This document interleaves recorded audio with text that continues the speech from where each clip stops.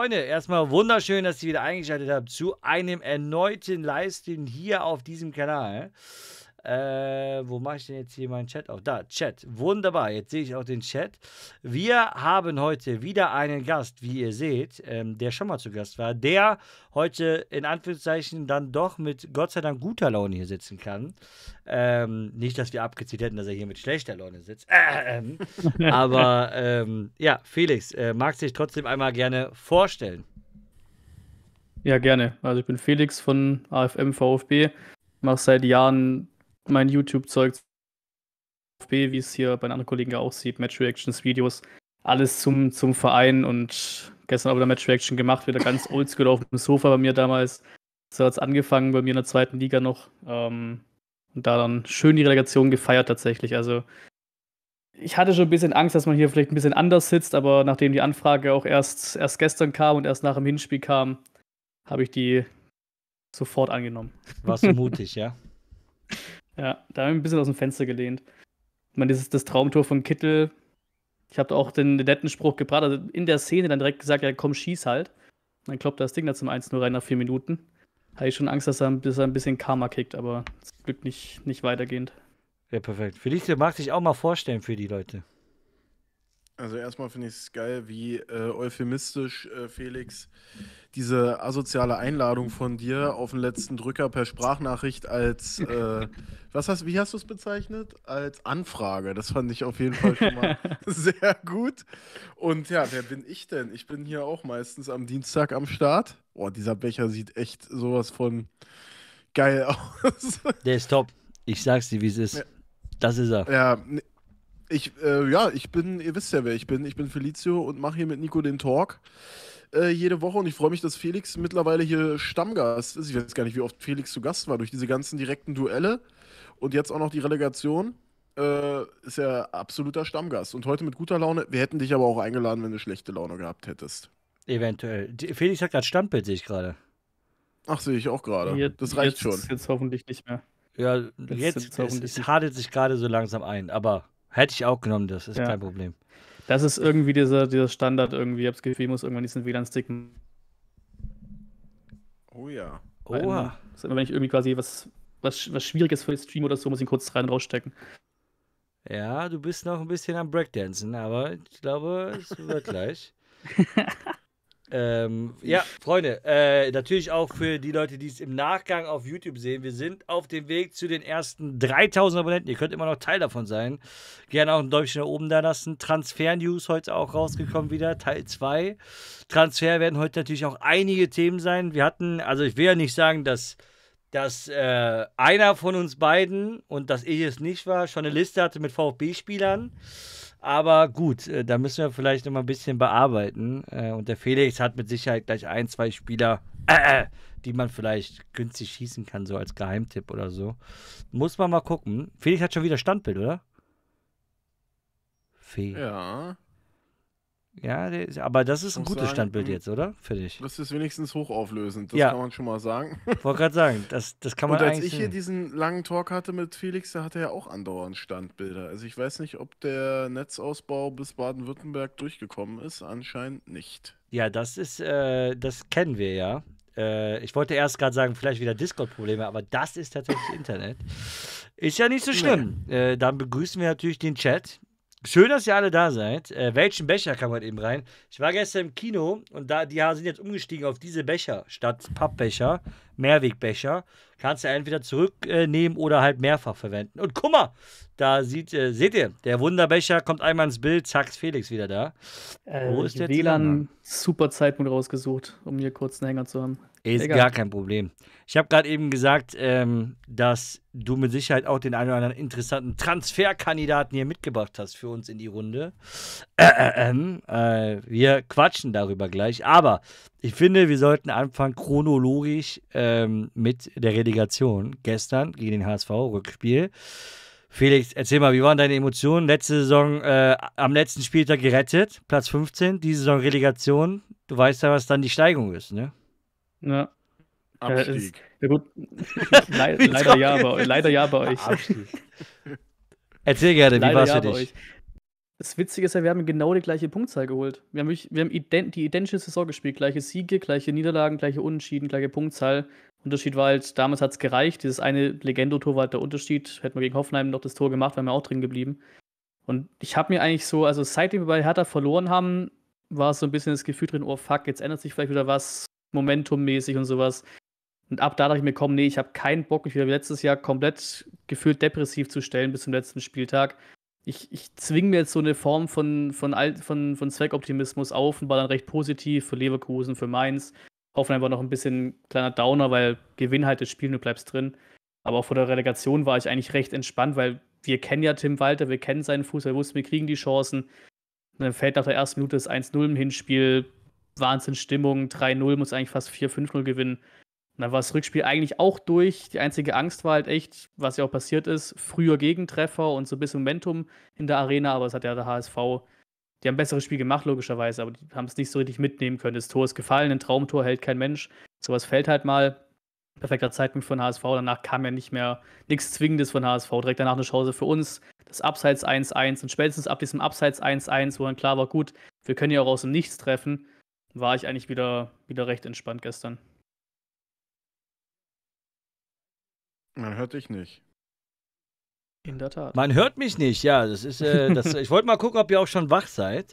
Ähm, Hallo? Ich, ich, möchte mal, ich möchte mal ganz kurz was vorlesen. Äh, äh, ähm, wir hatten dich ja vor kurzem erst zu Gast. Damals hast du eine Prediction abgegeben. Ich weiß nicht, ob du dich daran erinnerst.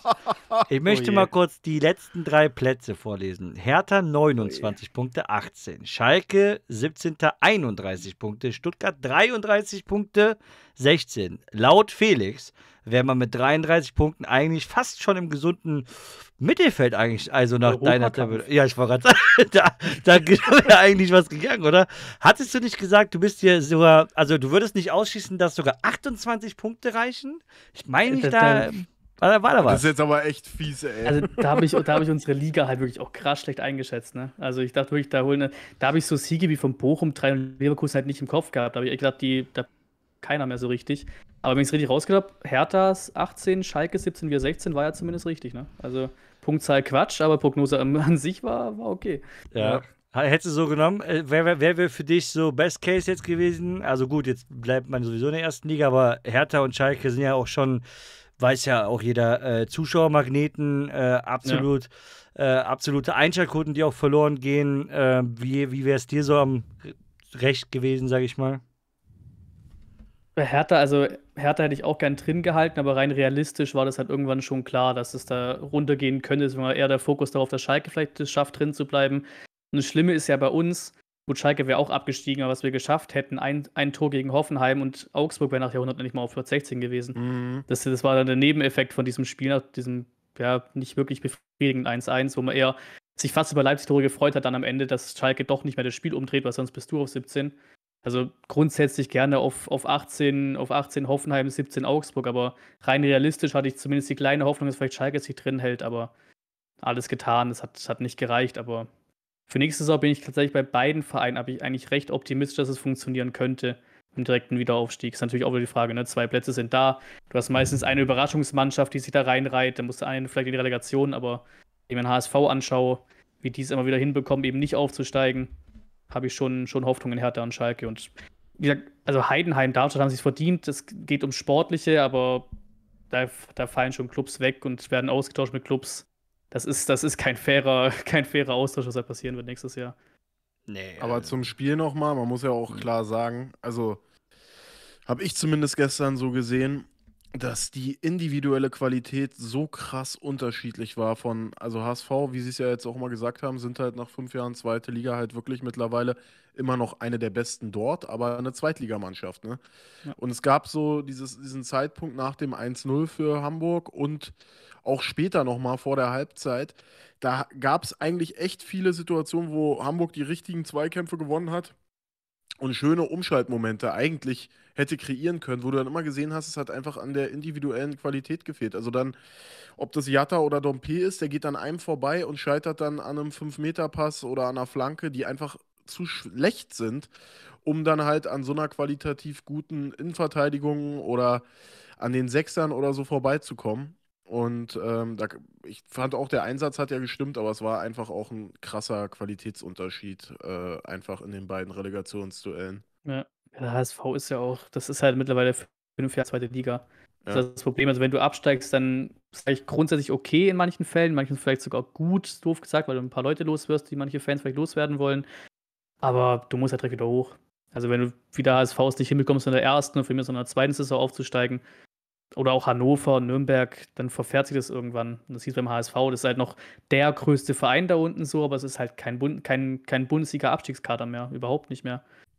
Nee, du hast ja auch gesehen, also hab, hat man so gesehen, Kittel, ja, ist manchmal schön Wetterfußballer und so weiter, aber das ist dann einer, der hat halt noch Qualität irgendwie für mehr individuell. Also da kommen Schüsse, sind dann perfekt platziert, Pässe stimmen teilweise, aber wie gesagt, gerade bei den Außen bei Jatta ist mir das auch schon letztes Jahr in unserer Relegation aufgefallen. Bringt einen irrsinnigen Speed mit, aber ganz ehrlich, bei wem würde der in der Bundesliga wirklich spielen? Also der kommt ja nichts an. Und das ist mir auch schon ja. während der Saison die ganze Zeit aufgefallen. Aber gegen Zweitligisten ist halt nochmal was anderes, weil da hat er so viel Tempo und so viel Raum, dass er dann das halt umsetzen kann. Aber es geht halt nicht gegen Bundesligamannschaften. Und ihr habt halt auch noch eine gute Zentrale mit Endo und Karazor, der ja immer so ein bisschen ja, ist halt so ein nicht so krass sichtbarer Spieler, ja. aber halt auch extrem wichtig ist mit seinen äh, Zustellen der Pässe und so weiter und Laufwegen und Zweikämpfen. Endo. Und dann habt ihr halt, äh, ja, Endo sowieso, der ist ja auch noch offensiv äh, ziemlich gut. Und dann habt ihr halt noch, ja, eigentlich auch noch eine ziemlich gute Bank, gute Flügelspieler mit Girassi, einen guten Stürmer. Also, das war ja, also 6 zu 1 war ja zehnmal deutlicher als die Relegation von Hertha letztes Jahr. Ja, das war das deutlichste seit 2009, also wo es wieder eingeführt wurde. Da hat, glaube ich, Nürnberg irgendwie 5-0 in Summe gewonnen gegen Cottbus. Seitdem wurde es nicht mehr so deutlich. Köln dann mal irgendwie kurz das 5-1, was dann irgendwie 5-2 insgesamt war, aber ja. Das hätte ja auch noch höher ausgehen können. Also das Hinspiel hätte ja, das war das einzige Manko im Hinspiel, dass du da das nicht schon komplett zugemacht hast, sag ich mal, mit einem Vierer oder Fünften. Das war schon heftig. Und du merkst halt auch, so die Art und Weise, wie du Fußball spielst, wir kennen es ja von Walter, das klappt in der zweiten Liga vielleicht mal, so Beispiel gegen St. Pauli, dann gewinnst du halt ein Spiel mit 5 zu 4, hast halt eine scheiß mhm. Defensive, aber vorne klappt es halt. Und so fängst du halt gegen einen Club wie uns, wo das auch nicht unbedingt typisch ist, fängst du dir sechs Tore in zwei Spielen, weil eben die Abwehr und der Fußball von Walter da halt überhaupt nicht funktioniert hat. Da merkst ja, du halt auch den Unterschied. individuell eben nicht überlegen sind gegenüber dem Gegner, sondern unterlegen. Und wir haben es ja, äh, Nico und ich haben das auch schon besprochen gehabt, dieses, ich weiß nicht, ob du das gesehen hattest, HSV gegen Paderborn. Da hätte der HSV zu Hause irgendwie nach fünf Minuten zwei Gegentore kriegen müssen, Minimum.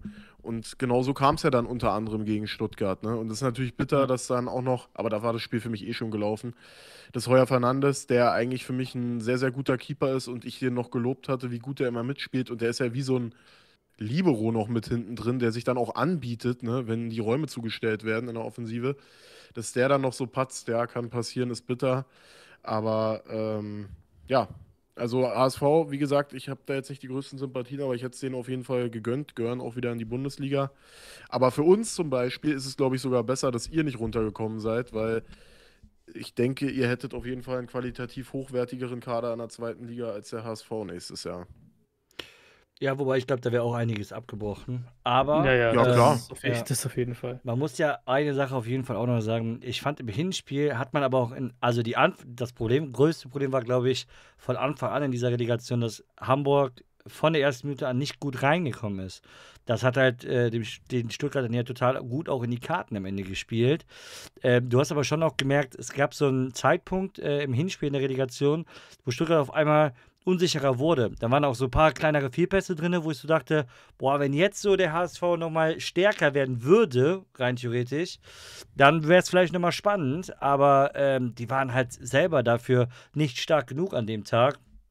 Das war so ein bisschen das Problem, weil du hast zwischenzeitlich schon gesehen, oh, wenn Stuttgart das zum Beispiel in der Bundesliga macht, also da diese Schwächephase hat, dann kann das interessanter werden. Und, das habe ich auch schon im Hinspiel gesagt, dass äh, da, da muss auch Tim Walter hinterfragt werden, äh, ganz klar hinterfragt werden.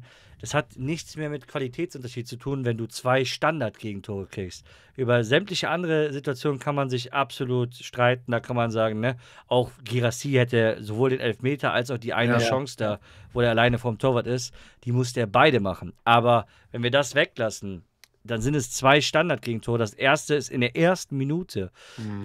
Das sowas studierst du ein. Also das gerade als Zweitligist musst du eigentlich über die Standards kommen. Das hat auch ein wenig mit Qualität, zu, also Qualitätsunterschied zu tun. Das sind einfach Sachen, die kannst du gut lernen und die kannst du auch gerade in so einem entscheidenden Spiel auch als Waffe benutzen, als kleinerer Verein, sage ich mal. Oder kleiner im Sinne jetzt ne, von anderen ähm, äh, wirtschaftlichen Verhältnissen ja auch. so. Genau. Ähm, aber das war halt echt extrem wenig und Stuttgart hat auch völlig zu Recht gewonnen, das muss man ja auch nochmal ganz klar sagen. Ich sag nur halt, wie gesagt, wenn, glaube ich, dieses frühe Tor am Anfang nicht fällt, wenn Hamburg da mit einer besseren Einstellung reingeht, beispielsweise wie im Hinspiel gegen Hertha damals, also letzte Mhm. Saison, wenn es mit so einer Einstellung direkt losgeht, wäre es, glaube ich, direkt ein anderes Spiel geworden. Weil du hast auch gesehen, auch ein Reis, wie gesagt, der hat ja Qualitäten, der, ich also ich bin, da können wir später nochmal drauf zu sprechen, ob der dann da bleibt. Aber qualitätsmäßig ist das ein super Spieler. Wenn du Glatze richtig in Szene bringst, kann der auch extrem gefährlich werden, auch unangenehm, auch für Erstligisten. Ähm, aber dann sind wir auch bei dem Punkt, den ihr beide auch gerade schon gesagt habt, irgendwo hört es dann auch auf. Also der Kader in der Tiefe, da ist nicht mehr viel. Ne? Äh, das ist halt, da merkst du halt auch jetzt die letzten Jahre, die waren halt einfach nicht erste Liga, sind da jetzt lange schon drinne, sind da irgendwo auch eingestellt. Ich glaube, dass Tim Walter allgemein auch ja, hat natürlich so ein bisschen die Werbetrommel jetzt auch gerührt, ne? Zuletzt ganz viel äh, HSV mein Verein und ähm, alles Mögliche und ich bin so stolz auf die Fans, die Mannschaft und so weiter. Ja, aber dass da sämtliche Fans auch extrem angepisst sind und dass äh, auch die Stimmung ein Stück weit kippt, ist ja auch irgendwo klar. Der wird mit Sicherheit auch Zusprüche haben. Aber ich habe heute erst vorhin ähm, im, hier bei Vater und Sohn reingeschaut und da waren fast alle Kommentare zu dem Zeitpunkt erstmal negativ. Im Sinne von halt, ne, ich meine, er hat gesagt, äh, die Menschen, die glauben, HSV spielt äh, nächste Saison noch zweite Liga, ne? Also dieser Satz, das war halt ein absolutes Eigentor jetzt, wenn du dann am Ende es eben nicht packst und dann allgemein noch in die Relegation musst. Und nächste Saison wird es nicht einfacher. Felicio, Hertha, Schalke geht runter. Äh, klar, es gibt immer noch eine Überraschungsmannschaft, aber die kommt ja auch noch dazu. Dann Hamburg. Das wird schon äh, ganz, ganz extrem werden. Überlegt mal, zwischenzeitlich in der Saison, wo Werder und Schalke aufgestiegen sind am Ende, war aber Darmstadt zwischenzeitlich echt gut am Machen da oben. Und wir dachten schon, ach du Scheiße. Ähm, und Pauli. Darmstadt und Pauli Mhm. waren zwischenzeitlich vor uns. Also vor Schalke und Bremen. Und da dachte man schon, ei, ei, ei, ei, ei, wie soll das denn jetzt nächste Saison für, für den HSV aussehen? Dann mit eventuellen Abgängen. Ähm, das kann schon sehr schwer werden. Ja, das war dieses Jahr, wo sie aufsteigen müssen. Also die Konkurrenz war dieses Ja. Jahr so, so low wie noch nie. Ja. Wenn du mal Bielefeld anguckst, die gerade parallel spielen, oder Fürth, die haben ja beide überhaupt keine Rolle gespielt da oben. Also es ist, Und Nürnberg war ja im Jahr davor auch noch ein bisschen weiter oben mit Ja. zu verordnen. Die waren auch noch weg. Also eigentlich muss man wirklich sagen, äh, das wäre jetzt das Jahr gewesen, absolut. Und ja, also diese Standards, klar, ist natürlich auch mega schwer, Mavropanos und Sosa zu verteidigen, wenn beides perfekt kommt. Aber das weiß ich ja. Wie kann ich da fünf Meter in der ersten Minute wegstehen? Also ich Ja. verstehe das sowieso immer nicht. Ich meine, die haben doch extra äh, Leute, die nur den Gegner analysieren, ja. Wie kann dann bei einer Situation, die aus dem Stand ist, also ein Standard, nicht aus dem Spiel heraus, wo Fehler immer mal entstehen können, wie kann so jemand so frei stehen? ja. Das sind vor allen Dingen ja die einfachsten Sachen, ne? Das muss man ja auch sagen. Ja, meine ich also ja. Das, das ist, es ist so verrückt. Es wird mittlerweile alles gefühlt fast ähm, tot analysiert und alles. Aber dann bei so den einfachsten Sachen am Mann stehen, hört es dann Ja. auf. Ähm, ich finde das auch immer so bemerkenswert, wenn dann, siehst das auch manchmal, fast eine komplette Abwehrreihe, wenn der Ball von außen kommt, egal ob bei einer Ecke oder bei einer reingeschlagenen Flanke, geht nur Blick Richtung Ball. Also die gucken, Mhm. so wenig Verteidiger gucken noch auf den Gegner, lösen die sich einmal und stellen sich zwischen zwei Innenverteidiger. Das ist, glaube ich, so das Paradetor, was jeder in dieser Saison schon bekommen hat, ähm, weil das total auffällig geworden ist. Also die Abwehrspieler sind dann im Fokus Ball, aber äh, der Gegenspieler wird irgendwie, ja, ist dann in dem Moment einfach weg. Aber Stuttgart hat es auch im Hinspiel extrem gut gemacht. Also zum Beispiel diese, äh, die, dieses krass frühe Anlaufen am Anfang, auch noch nach dem Tor noch. Ne, das hat die ja extrem unter Druck gesetzt. Dann haben sie auch eine gewisse Härte mit reingebracht, irgendwie gefühlt jeden Zweikampf gewonnen. Und dann auch so diese Chance von Girassi, wo er das 2-0 machen muss. Das, also da haben ja auch wieder alle geschlafen. War zwar schön gemacht, ne, klatschen lassen, durchgelaufen. Aber wie kann in der Mitte das so frei sein, ja? Also so hoch stehend. Und ein paar Mal gab es sogar noch Szenen, auch gegen, im Hinspiel, wo Heuer Fernandes, glaube ich, wenn, der, wenn das nicht Heuer Fernandes ist, sondern ein anderer Keeper, dann rennt da der Spieler wieder alleine aufs Tor zu. Ja. Mhm. Äh, gestern haben sie es ja eigentlich gut angefangen. Da hatte ja eher Stuttgart dann ein bisschen Schwierigkeiten am Anfang damit klarzukommen, dass sie auf einmal so die Zweikämpfe suchen und so weiter. Aber klar, mit so einer Last im Rücken von 3 zu 0 und jedes Gegentor bedeutet eigentlich, ist es vorbei, ist es dann halt auch mega schwer. Ja, und auch Zeitpunkt halt einfach, als HSV-Fan wäre ich auch maximal angepisst. Das ist halt, Im Hinspiel war es natürlich perfekt für uns, weil, wie gesagt, war generell brutale Stimmung. Und du holst den Hype ja hin und dann mit dem Anstoß hast du quasi den ersten Höhepunkt als Fan ja. und sofort nach 40 Sekunden fällt es 1-0, da ist auch das ganze Stadion hinter dir. Und dann halt direkt wirklich auch zweite Halbzeit 51 und 53 und im ja. Rückspiel in der 48. Das sind halt Zeitpunkte, wo ich als, als, als Hamburg-Fan komplett ausflippen würde, wie ich mir nach 5, 6 und dann drei Minuten nach Halbzeit wieder nach Wiederanpfiff wieder ein Tor kassieren kann. Das ist auch irgendwie dann eine Form von Schläfrigkeit, die, die halt nicht funktioniert auf dem Niveau. Ja, ja. absolut. Ist so. Ich, Was glaubt ihr denn? Bleibt Tim weiter? Ja, das ist so eine ähnliche Frage wollte ich auch gerade stellen. Glaub's fast schon, weil die Aussagen gehen schon irgendwie in die Richtung. Und das ist auch immer die Frage, wenn er, wenn er nicht bleibt, wen holst du denn dann sonst? Labadia. Wer, wer, wer, wer glaubt denn jetzt, ich bin, ich bin der in der sechsten Saison es hinbekommt beim HSV? Tja, eine Person ist leider nicht mehr verfügbar, habe ich heute gelesen. Ich wollte es eigentlich Nico senden. Ich wollte es eigentlich Nico senden, aber ich wusste, dass er es sowieso gesehen hat. Ja.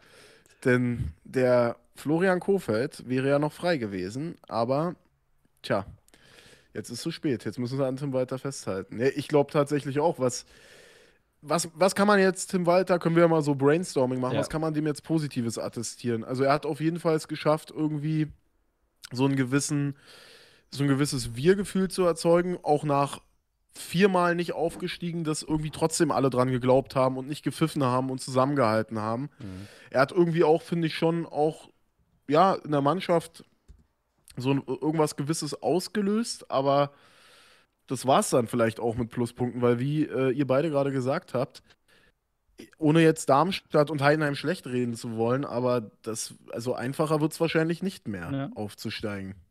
Ich meine, Hamburg hat auch eine Aufstiegssaison gespielt anhand der Punkte. Die haben 66 ja. Punkte geholt. Die letzten fünf Saisons ist das immer mindestens Platz zwei. Das ja. ist auch so eine Saison, wo du halt dann wieder zwei Clubs hast, die einen Punkt mehr haben. Ich glaube, letzte Saison, wo auch der dritte 66 hatte, war, wo wir auch dabei waren, 2016, 2017.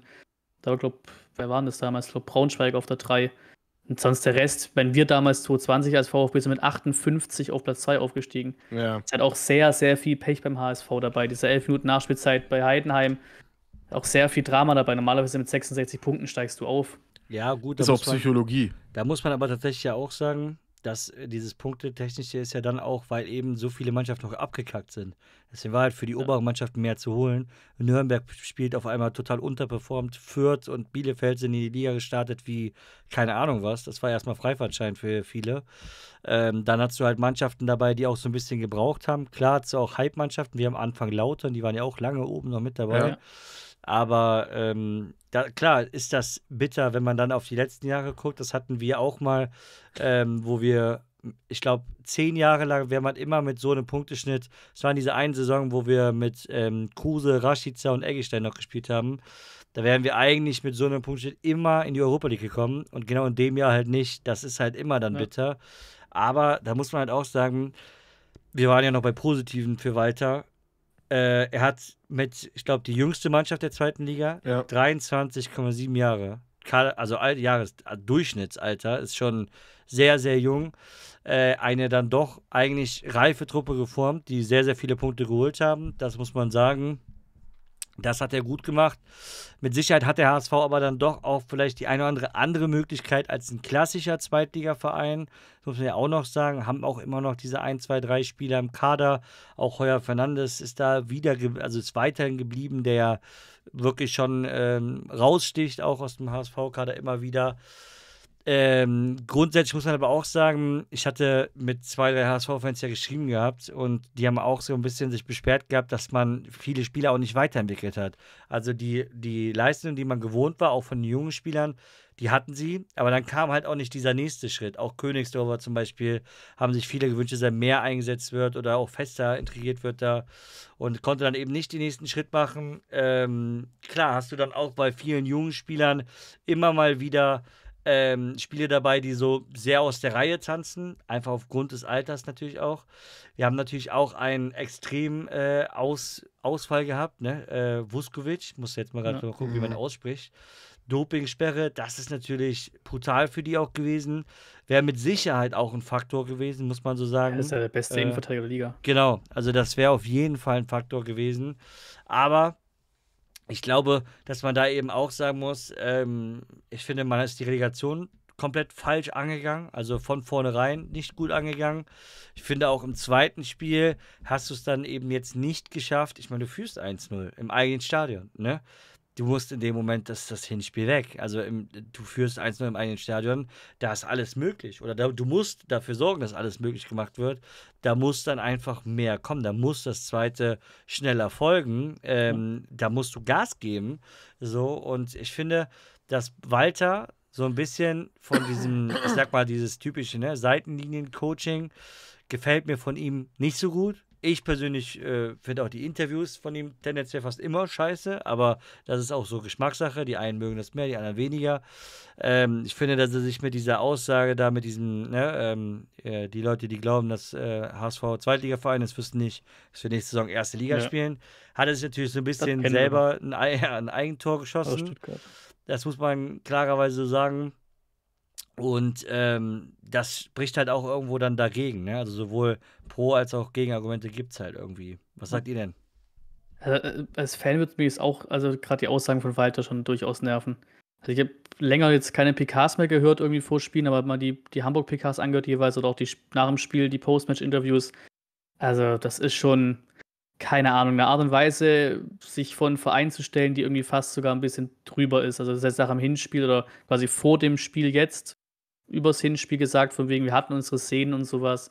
Und ich habe keinen Klassenunterschied gesehen und so Geschichten. Und wenn wir da was machen, dann passiert vielleicht mehr. Jungs, äh, das Spiel lief ja am Ende auf ein 4-5-0 raus und der bricht es so, als hätten sie dann einen Punkt holen können. Das ist halt irgendwie auch eine komische Form davon. Gut, seine Aussagen kennen wir auch. Also seine Zeit beim VfB auch jedes Mal gesagt, nach dem Motto, ja, nächste Gegner schlag mal auch zu null und sowas. Das, das ist halt witzig und cool und arrogant, wenn es funktioniert. Zum Beispiel vom ja. Derby gesagt, KSC zu Hause schlag mal, drei, äh, schlag mal zu null und haben 3-0 gewonnen. Dann war es cool, aber wenn es halt nicht klappt, was jetzt schon länger der Fall ist, dann, dann ist das halt einfach nur Fehler am Platz. Und der hat jetzt auch mal zwei Jahre bekommen. Ist ja auch untypisch beim HSV. Der hat zwei Jahre bekommen, zweimal Relegation. Da hätte ich nur keine Ahnung, wer es als Trainer machen sollte nach ihm. Und der sagt ja bei der Mannschaft hinter ihm und seine Familie und sowas. Vielleicht passt es ja wirklich zusammen dann muss man wahrscheinlich vielleicht nochmal eine Runde gehen mit ihm, aber wenn es sich irgendein Trainer anbietet, wäre es schon ein Zeitpunkt, wo ich sage, gut, zwei, zwei Jahre gehabt, jetzt versuchen wir was Neues. Ja, man kann natürlich noch den Punkt Konstanz bringen, weil es vorher viele Trainerwechsel gab, aber Konstanz ist vielleicht dann auch nicht das richtige Wort, wenn man eben zweimal es nicht geschafft hat. Ne? Also vielleicht hat man ja letztes Jahr auch überlegt, komm, wir probieren es nochmal. Es war jetzt wirklich denkbar knapp auch gegen Hertha. Ne? Und es war eine schwere Saison. Wir hatten Schalke und Bremen dabei und noch andere Aspiranten. Dann versuchen wir es in der vermeintlich einfacheren Saison nochmal. Wir können mit ihm auch noch, wir halten nochmal Spieler wie Glatzel, äh, Reis, Fernandes und Co. Also, ja, ist schwierig. Mal gucken, wer dann da nächste Saison noch am Start sein wird. Und trotzdem muss man ja auch sagen, vom, also sie sind ja jetzt lange genug da, um auch diesen, diesen äh, bereinigenden Prozess durchgeführt zu haben, um eben nicht mehr so eine krass teuren Spieler am Kader zu haben. Sie haben ja trotzdem mit Abstand den höchsten Etat in der zweiten Liga, ne? Na.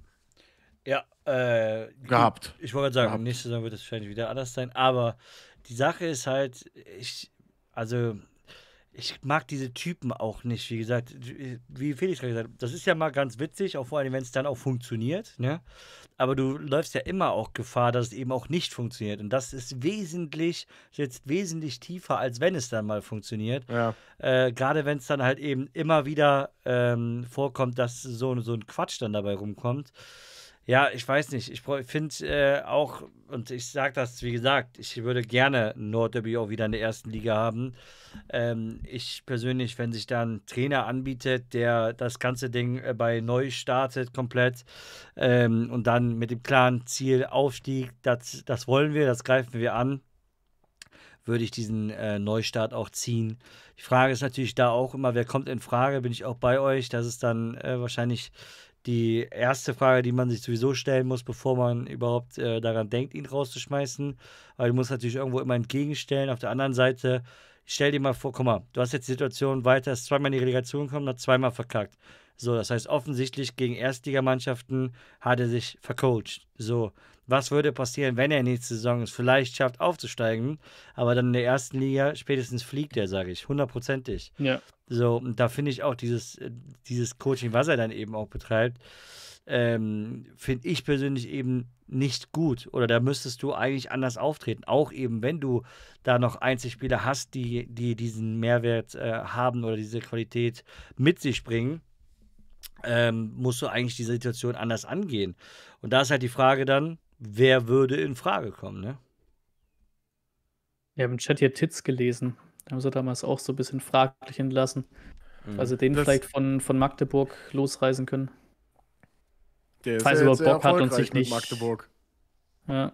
Falls er Bock hat, vielleicht ist er auch selber von der ganzen Aktion damals noch etwas genervt. Also ja, den, schwierig der Trainermarkt. Labadia. Na, Labadia, Magath. Hier, den hat äh, Thiele für Hertha vorgeschlagen. Den finde ich ja mega interessant. Ich hatte den gar nicht so auf dem Schirm, aber der Z ähm, Trainer von Freiburg 2. Vielleicht über den mal Gedanken machen. Thomas Stamm. Ist ja klar auch eine gute Nachwuchsarbeit, aber ist ja auch eine beachtliche Leistung, am Ende auf dem Aufstiegsplatz zu landen mit einer zweiten ja. Mannschaft in der dritten Liga. Äh, der hätte sicherlich auch Interesse, sowas äh, zu machen, weil es für den dann halt der Sprung in eine erste Mannschaft wäre, die um Aufstieg mitspielt. Wenn er es gut macht, kann er sogar Erstligatrainer mit der Mannschaft sein so eine, so eine Trainer müssen sie sich halt Gedanken drüber machen, weil diese ganzen Trainer, die immer nur im Karussell sind, ich glaube, die würden dem HSV auch nicht weiterbringen. Nee. Aber lass uns mal festlegen, was sagt ihr denn? Glaubt, also einmal glaubt ihr, der HSV macht weiter mit weiter und würdet ihr selber mit ihm weitermachen? Ich sage, er macht weiter und ich glaube, ich würde auch mit ihm weitermachen. Tatsächlich. So bauchgefühlmäßig. Ich glaube, also wenn ich jetzt die, ich hätte eigentlich gedacht, dass er gehen muss, aber nach den ganzen äh, Sachen in der Presse, die ich jetzt so gelesen habe heute, glaube ich irgendwie, dass er bleibt. Und ich würde tatsächlich wirklich jetzt in so einer Saison, die weiß man ja nicht, wie gut Hertha, wenn Hertha überhaupt die Lizenz bekommt, gut sein wird, wie gut Schalke sein wird. Ich würde es tatsächlich mit äh, jemand Neuen probieren. Mhm. Also ich persönlich glaube, dass der HSV weitermacht mit Walter. Aber ich würde es definitiv mit jemand Neues probieren. Äh, klar, Trainermarkt äh, wirklich durchforsten, ne? wer steht da zur Verfügung und alles. Aber ähm, ich glaube nicht, dass man mit Walter das so weiter schafft. Auch nach diesem Verlauf jetzt ist schon sehr bitter. Aber wie gesagt, ich glaube, dass der HSV weitermachen wird, weil einfach da die können halt viele Argumente dafür nennen. Ne? Wie gesagt, jüngster mhm. Kader, Buskovic, ähm, zweimal Relegation. Das ist ja alles auch nicht so verkehrt. Aber ich glaube, dass der auf jeden Fall mal schwer angezählt ist. Das kann man auf jeden Fall sagen. Und ich glaube, nächste Saison, also ich kann es mir nicht vorstellen. Es sei denn natürlich, Hertha und Schalke erwischen einen schlechten Start. Ne? Ja. Wenn, wenn sowas dann passiert, äh, wie jetzt mit Bielefeld oder Fürth, ist natürlich auch nochmal so eine Sache. Ist ja eigentlich auch so, ne? Wenn, wenn Hertha die Lizenz gar nicht bekommt, dann steigt Bielefeld gar nicht ab, oder? Ich weiß gar nicht, was dann passiert. Ich meine, dann steigt Bielefeld gar nicht ab. Irgendwie sowas war da. Ah, das wird ja nicht passieren. Nee, nee, ich glaube auch nicht. Ich glaube auch, dass ihr die Lizenz nee, bekommt. Aber nee, ich meine nee. nur mal, äh, ich hatte das nämlich irgendwo in der Zusammenfassung von, vom Zweitligaspieltag, haben die das nämlich gesagt, könnte sich noch ändern, wenn Hertha die Lizenz nicht bekommt. Und ich dachte so, hä? Ach krass, habe ich noch gar nicht drüber nachgedacht. Ja, Dann gibt es einen Absteiger weniger, ja. sozusagen. Okay. schon, ja gut, die Ich muss ja die. habe mal geschaut ja. nach, nach freien Trainern. Rüd van Nistelrooy. Der war doch beim HSV. Rüd. Genau deswegen. Und der war, ein, der war eigentlich echt nicht, echt nicht schlecht unterwegs da bei, bei der PSV, aber irgendwelchen Gründen rausgeflogen. Aber Was das ist so eine? Legende, das wäre das wär, das wär so ein Raul-Ding und sowas bei Schalke mal irgendwie kurz im, in Gerüchten waren und so. Ja, Raoul. Aber geht der zum HSV in die zweite Nee, Liga? nee, nee, aber es war nur ein witziger Name, der mir gerade aufgefallen ist, bei der freien Trainerliste neben so Taifun Korkutz und Joachim Löws. War das dann doch schon ein Name. Taifun Korkut, ey. Der ist auch noch frei, tatsächlich. Aber oder sie versuchen es nochmal. Der bietet sich ja sehr an im TV mit Magath. Ja, ich meine, Hamburg. Warum Dann, nicht? Dann muss Jonas Bolt aber wahrscheinlich auch gehen, wenn der kommt. heißt er Jonas? Bolt. Glaub Bolt, schon, ja. Sagen wir Bolt. Ähm, der soll ja wohl halt- auch weitermachen, ne? Ist halt auch die Frage, wie groß der Support von den Fans ist für Walter, weil er kann ja noch so oft sagen, wie, was für eine Familie sie sind im Team und so. Aber danach muss ja auch so ein bisschen gucken, wie, wie Ja. schnell die Zündschnur erreicht, wenn du in der nächsten Saison nach drei Spielen irgendwie noch bei zwei Punkten stehst oder so. Also der geht sehr schwer angezählt. Wenn er einen schlechten Saisonstart hat, könnte der der Erste sein, der fliegt. Ja. Ja, absolut. Oh ja, In Frank Kramer, Liga. stimmt ja. Frank Kramer wäre auch eine super Alternative. Frank Weltklasse. Kramer ist Welt, auf jeden Fall. Dann ist Hat- der der Erste, der fliegt. Da legen Nico und ich uns schon mal fest. Aber Hat Slomka nochmal. Bock?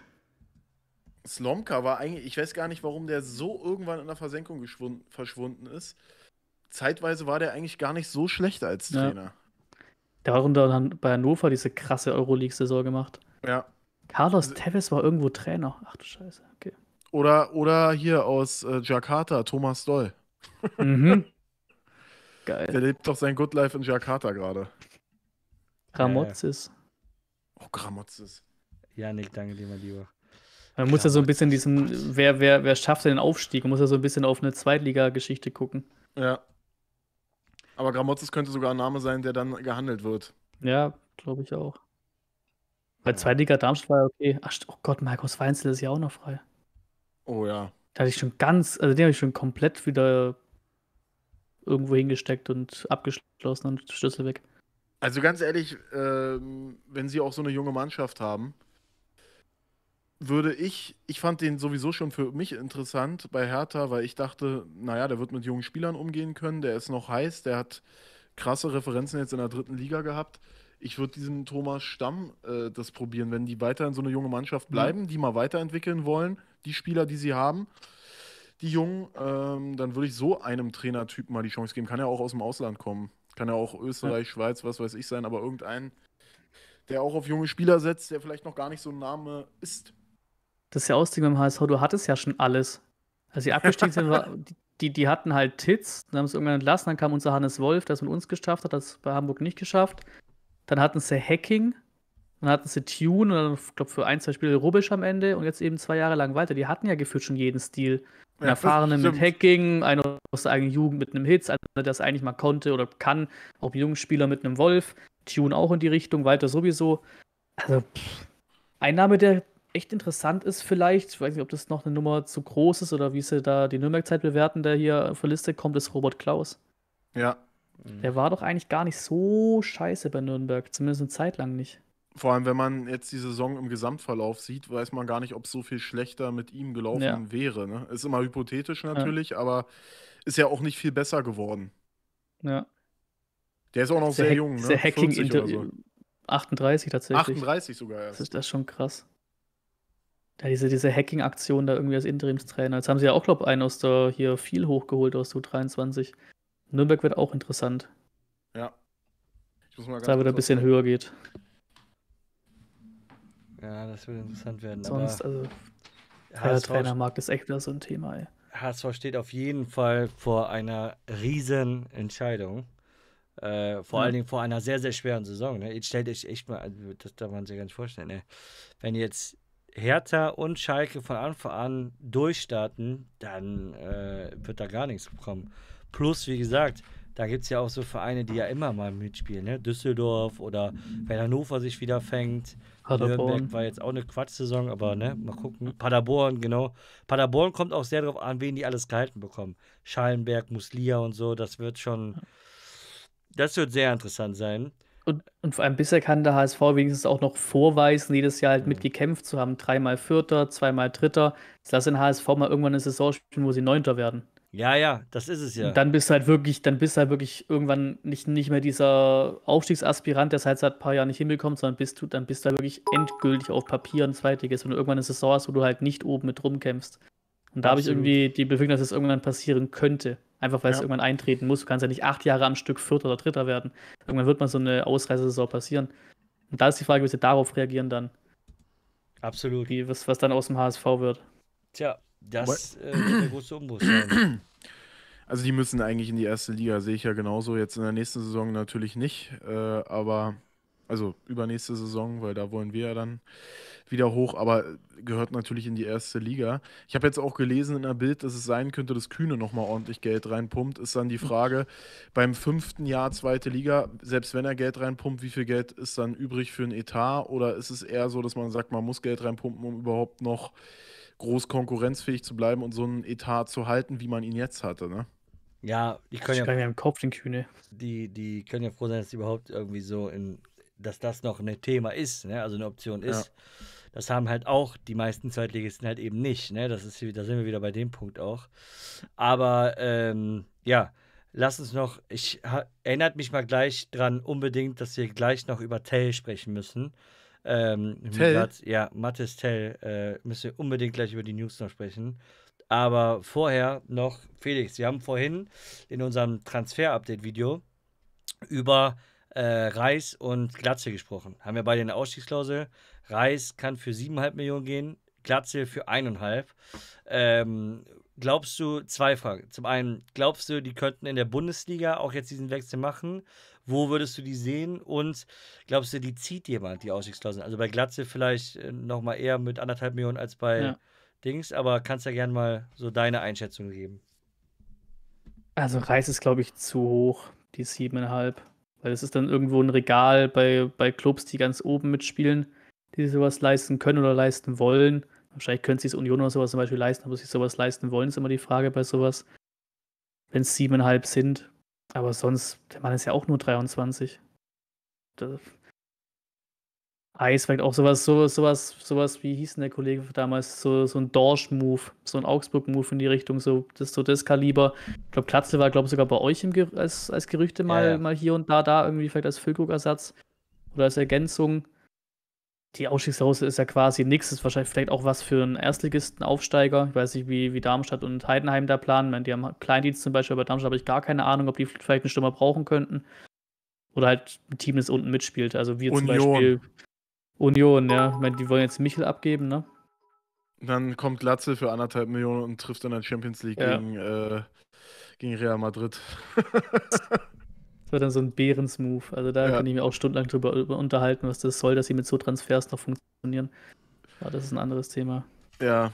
Aber Also- ganz, e- bei, bei, Augsburg zum Beispiel, ja, stimmt, die wären so welche, die könnten auch äh, siebeneinhalb Millionen zahlen, wenn Ja. sie ihn wirklich wollen für Reis. Aber die haben ja jetzt Engels, Meier und Dorsch eigentlich so für. Ja, die, die haben eigentlich genug. Mainz ist doch gerade aktiv am Suchen nach Mittelfeld mit Serda, mit, mit Klaus. aber den war Serda mit vier Millionen schon zu teuer. Also glaube ich eher nicht, ja, dass sie. Vielleicht kannst du verhandeln. Vielleicht kannst, du, kannst du verhandeln statt in siebeneinhalb, aber sonst schwierig. Ich bin jetzt nicht so tief genug drin, ganzen Kadern, wer da jetzt brauchen könnte. Ey, für, für, für deutlich weniger Geld, glaube ich, würden den viele nehmen. Äh, Reis. Ja. Die, Ja. die Sache ist halt nur, diese 7,5 Millionen Ausstiegsklausel, die wird, glaube ich, keiner ziehen, zumindest keiner aus der Bundesliga. Wenn jemand dann aus dem Ausland kommt, eventuell, wie gesagt, Niederlande, dann müsste es aber Topverein. Ajax sucht ja Ja. sowieso immer, die lassen ja Grillits Vertrag wahrscheinlich auslaufen, so wie es aussieht. Das heißt, der wäre übrigens auch wieder ablösefrei auf dem Markt und der wird in der Bundesliga sehr heiß sein. Ähm, vor allem, weil er ja letztens erst ein Interview gegeben hat, dass er da sich gut vorstellen Ja. kann, die Bundesliga zurückzukehren. Und ich glaube nicht, dass die oberen Adressaten da anklopfen werden. Das heißt, Grillitsch auch ein spannendes Thema, aber äh, Ajax ist so ein Club, wo ich sagen würde, da wären auch diese 7,5 Millionen jetzt nicht das größte Hindernis. Also das könnte Ja. man eventuell. Aber ähm, Wenn, ja, wenn der, dann. der kommt ja aus Top-Club Spanien, ne? also vielleicht auch La Liga. Kommt aus hier aus der Barca-Jugend, vielleicht auch La Liga interessant für ihn. Ja, aber er ist ja Holländer, ne? Also ist ja Niederländer. Und, und das, Ja. äh, Ja. und, und bei Glatzel, ich die Tabelle angeschaut, Bochum vielleicht? Oder sind die zufrieden im Sturm? Wir haben auch haben halt so in einen, dieser Kategorie ne, gesprochen, ne? Ja, die haben allen, ja. Wir, wirklich anderthalb Millionen, das ist ja quasi nichts, ne? Das ist halt wirklich, das könnte auch für Darmstadt, Also- je nachdem, ne? Also äh, je Ja, ja. nachdem, was auch Bei passiert. Darmstadt bin ich echt nicht drin. Heidenheim hat ja Kleindienst, aber Darmstadt vielleicht. Wenn Kleindienst denn bleibt, ne? Das ist dann auch wieder so ein Thema. Ja, also ich würde ich ihm schon ans Herz legen. Na, Darmstadt hat ja diesen äh, Tietz, oder wie der heißt. Ja. Aber klar, An Darmstadt, ich, will, ich will eigentlich Pfeife zurückverticken an Darmstadt. Also Glatze darf da eigentlich nicht rein. na, dann geht, äh, dann machen wir es so. Glatze geht zu Darmstadt und ähm, äh, Pfeiffer, Luca Pfeiffer geht zum HSV. Auch in Ordnung. Ja, Und wir der wird da dann, treffen. äh, Zweite Liga wird bei dem laufen. Wir nehmen noch Milot und Fürlich. Das, wenn, wenn wir schon dabei sind, Jo, dann schieben, du, schieben wir einfach weiter. Ah, Das wird aber ein bisschen teuer. Ja, nee, ich meine einfach weiterschieben, nicht ah, bezahlen. Ach so, ach Also, so. Wir machen hier Domino-Effekt. Ja, wenn schon, denn schon. Also das ist ja klar. Weil da muss Oder man freut sich irgendein Drittligisten so dann irgendwann, ne, wenn es so weiter runterrutscht. Ja, äh, Domino-Effekt werden wir sowieso später noch drüber sprechen. Dieses Benzema-Thema wird noch ein Ja. Domino-Effekt werden. Im Thema Mittelstürmer vor allen Dingen. Ähm, ja, da bin ich sehr, sehr gespannt. Vielen lieben Dank. Ich wollte gerade ein Abo verschenken. Kuss geht raus. Ja, äh, Glatze, aber also ich kann mir gut vorstellen, dass wir den nächste wär- Saison in der ersten Liga sehen. Es wäre ohne Scheiß so ein Union-Transfer. Ja. Irgendwo schon, ne? Es ist aber so günstig ja, und er ist nicht mehr Millionen. so jung, hat schon Bundesliga gespielt, aber nicht jetzt gerade die größten Spuren hinterlassen und rastet Mhm. komplett aus. Ja. Und er könnte dann da wieder nochmal so ein super Upgrade irgendwie werden, ne? Weil Union Ja. macht ja aus Scheiße Gold gefühlt. Ja. Das, äh, anderthalb Millionen ist, wie gesagt, ist halt kein Hindernis, ne? Also wenn jemand Ja. wirklich einen einen Stürmer? Mittelstürmer da sucht, deswegen wurde ja Bremen auch genannt. Überlegt mal, wenn Völko geht, jetzt mal angenommen, 20 Millionen kriegst du und holst für anderthalb Millionen Ersatz, das ist halt ein Witz. Aber, das, ich habe ja auch schon mal gesagt, ich selber würde ihn nicht gerne in Bremen sehen. Hat nichts, auch nichts mit HSV oder so jetzt zu tun. Ich finde da einfach andere Kandidaten interessanter auf jeden Fall. Aber ähm, ja, grundsätzlich ist das natürlich ein Thema. Ne? Und Aber Reis, auch bei den, Ja. sorry, Nee, auch bei den ja, ähm, sag. Aufsteigern kann ja ähm, dieses Transferkarussell wie mit Benzema an äh, losgeheizt werden, wenn eben ein Kleindienst irgendwo hin wechselt, dann brauchen die wieder jemanden Ja, oder ja. anders, es wechselt irgendwo anders ein Stürmer hin, dann wechselt Kleindienst dahin und so weiter und so fort. Also das ist ja so früh in der Phase auch äh, schwer, also 1,5 Millionen, eigentlich würde es mich sehr, sogar sehr wundern, wenn er noch eine Saison mit um Aufstieg beim HSV spielt. Dann wäre er eigentlich auch, muss man sagen, ähm, ja, ziemliches HSV-Herz würde er dann beweisen. absolut, wäre wahrscheinlich direkt Fanliebling gefühlt. Ja. Das äh, muss man auf jeden Fall festhalten. Was hat ihr aber denn bei Reis, falls man den abgibt ohne Ausstiegsklausel? Also wenn man ihn drunter abgibt. Bundesliga? Dann frage ich mich, warum, ob der HSV es überhaupt macht. Weil wenn die jetzt irgendwie drei, vier Millionen kriegen, Meinst du, dann die sagen halt, sie können vielleicht, den halten? Also so vom. wenn die jetzt nochmal Geld kriegen, ich Mhm. meine, das ist ja schon ein essentieller äh, Spieler für sie, Ja. der auch noch jung ist und falls man irgendwann den Aufstieg schaffen sollte, auch relativ gut verkauft werden könnte. Und dann könnte ich mir schon vorstellen, dass man sagt, um den herum bauen sie eine Mannschaft und bei 4 Millionen kann man Nein sagen. Bei 6, 7 Millionen kann man dann wahrscheinlich nicht Nein sagen. Ja. Mhm. Ja, schwierig. Ich bin mal gespannt. HSV, wir bleiben auf jeden Fall mal dran. Mal gucken, was da jetzt so die nächsten Tage geht. Ich glaube, dass wir da sowieso bald auch mal eine News kriegen werden. Äh, bevor wir gleich rübergehen und über Stuttgart-Transfers reden, äh, wie gesagt, vielleicht haben wir auch eine Liste an interessanten Kandidaten. Da müssen wir uns gleich am Tisch dran setzen, natürlich. Aber ähm, tatsächlich hatte ich es ähm, letztens ja noch auf meinem Kanal tatsächlich vorgeschlagen gehabt. Letztens ist ein bisschen übertrieben. Das ist ungefähr einen Monat her. Da habe ich damals ein Video gemacht. Ähm, ich habe ja auch so ein Transferformat, wo ich immer sage, einer für Werder. Also einfach so als Vorschlag, ohne Gerüchte oder sonst was. Ne? Und habe damals gesagt, ähm, falls Bayern dazu bereit wäre, Matthias Tell in der Liga zu verleihen, wäre das natürlich so ein super GAU-Ding. Ne? Also absolutes äh, Win-Win-Ding, weil äh, wenn Bayern ja Tell verleiht, dann geht es ja in erster Linie auch um Spielpraxis, nicht um Gehaltszahlen oder sonst was. Das heißt, natürlich kommen auch viele Clubs in Frage, die vielleicht finanziell sich den niemals leisten könnten, ihm aber diese Spielzeit gewähren könnten und das vielleicht dann auf Erstliganiveau. Also das heißt, Bundesliga könnte da auch interessant werden. Und jetzt kam gestern erst ein Artikel raus über Matthias Tell, dass nach Salihamidzic Abgang jetzt doch die Option wieder besteht, ihn zu verleihen. Und jetzt wurde ein, vor 20 Minuten erst ein neuer Artikel rein, äh, kam gerade eben rein, der auch geschrieben hat, Matthias Tell vielleicht auch in der Bundesliga, also innerhalb der Bundesliga zu verleihen. Das ist natürlich eine sehr spannende Personalie, weil äh, da müssen wir auch mal drüber sprechen, was für Vereine kommen denn laut euch, laut mir überhaupt in Frage. Ich muss mich gleich kurz bedanken beim Chat noch. Ähm, kurz äh, in Frage würdet ihr, wo würdet ihr ihn sehen? Ne? Was ist realistisch? Da müssen wir auf jeden Fall jetzt mal kurz äh, drüber sprechen. Aber erstmal ein Drachenseele, 10 Subs reingehauen. Mua! Knutscher, mein Lieber. Vielen lieben Dank.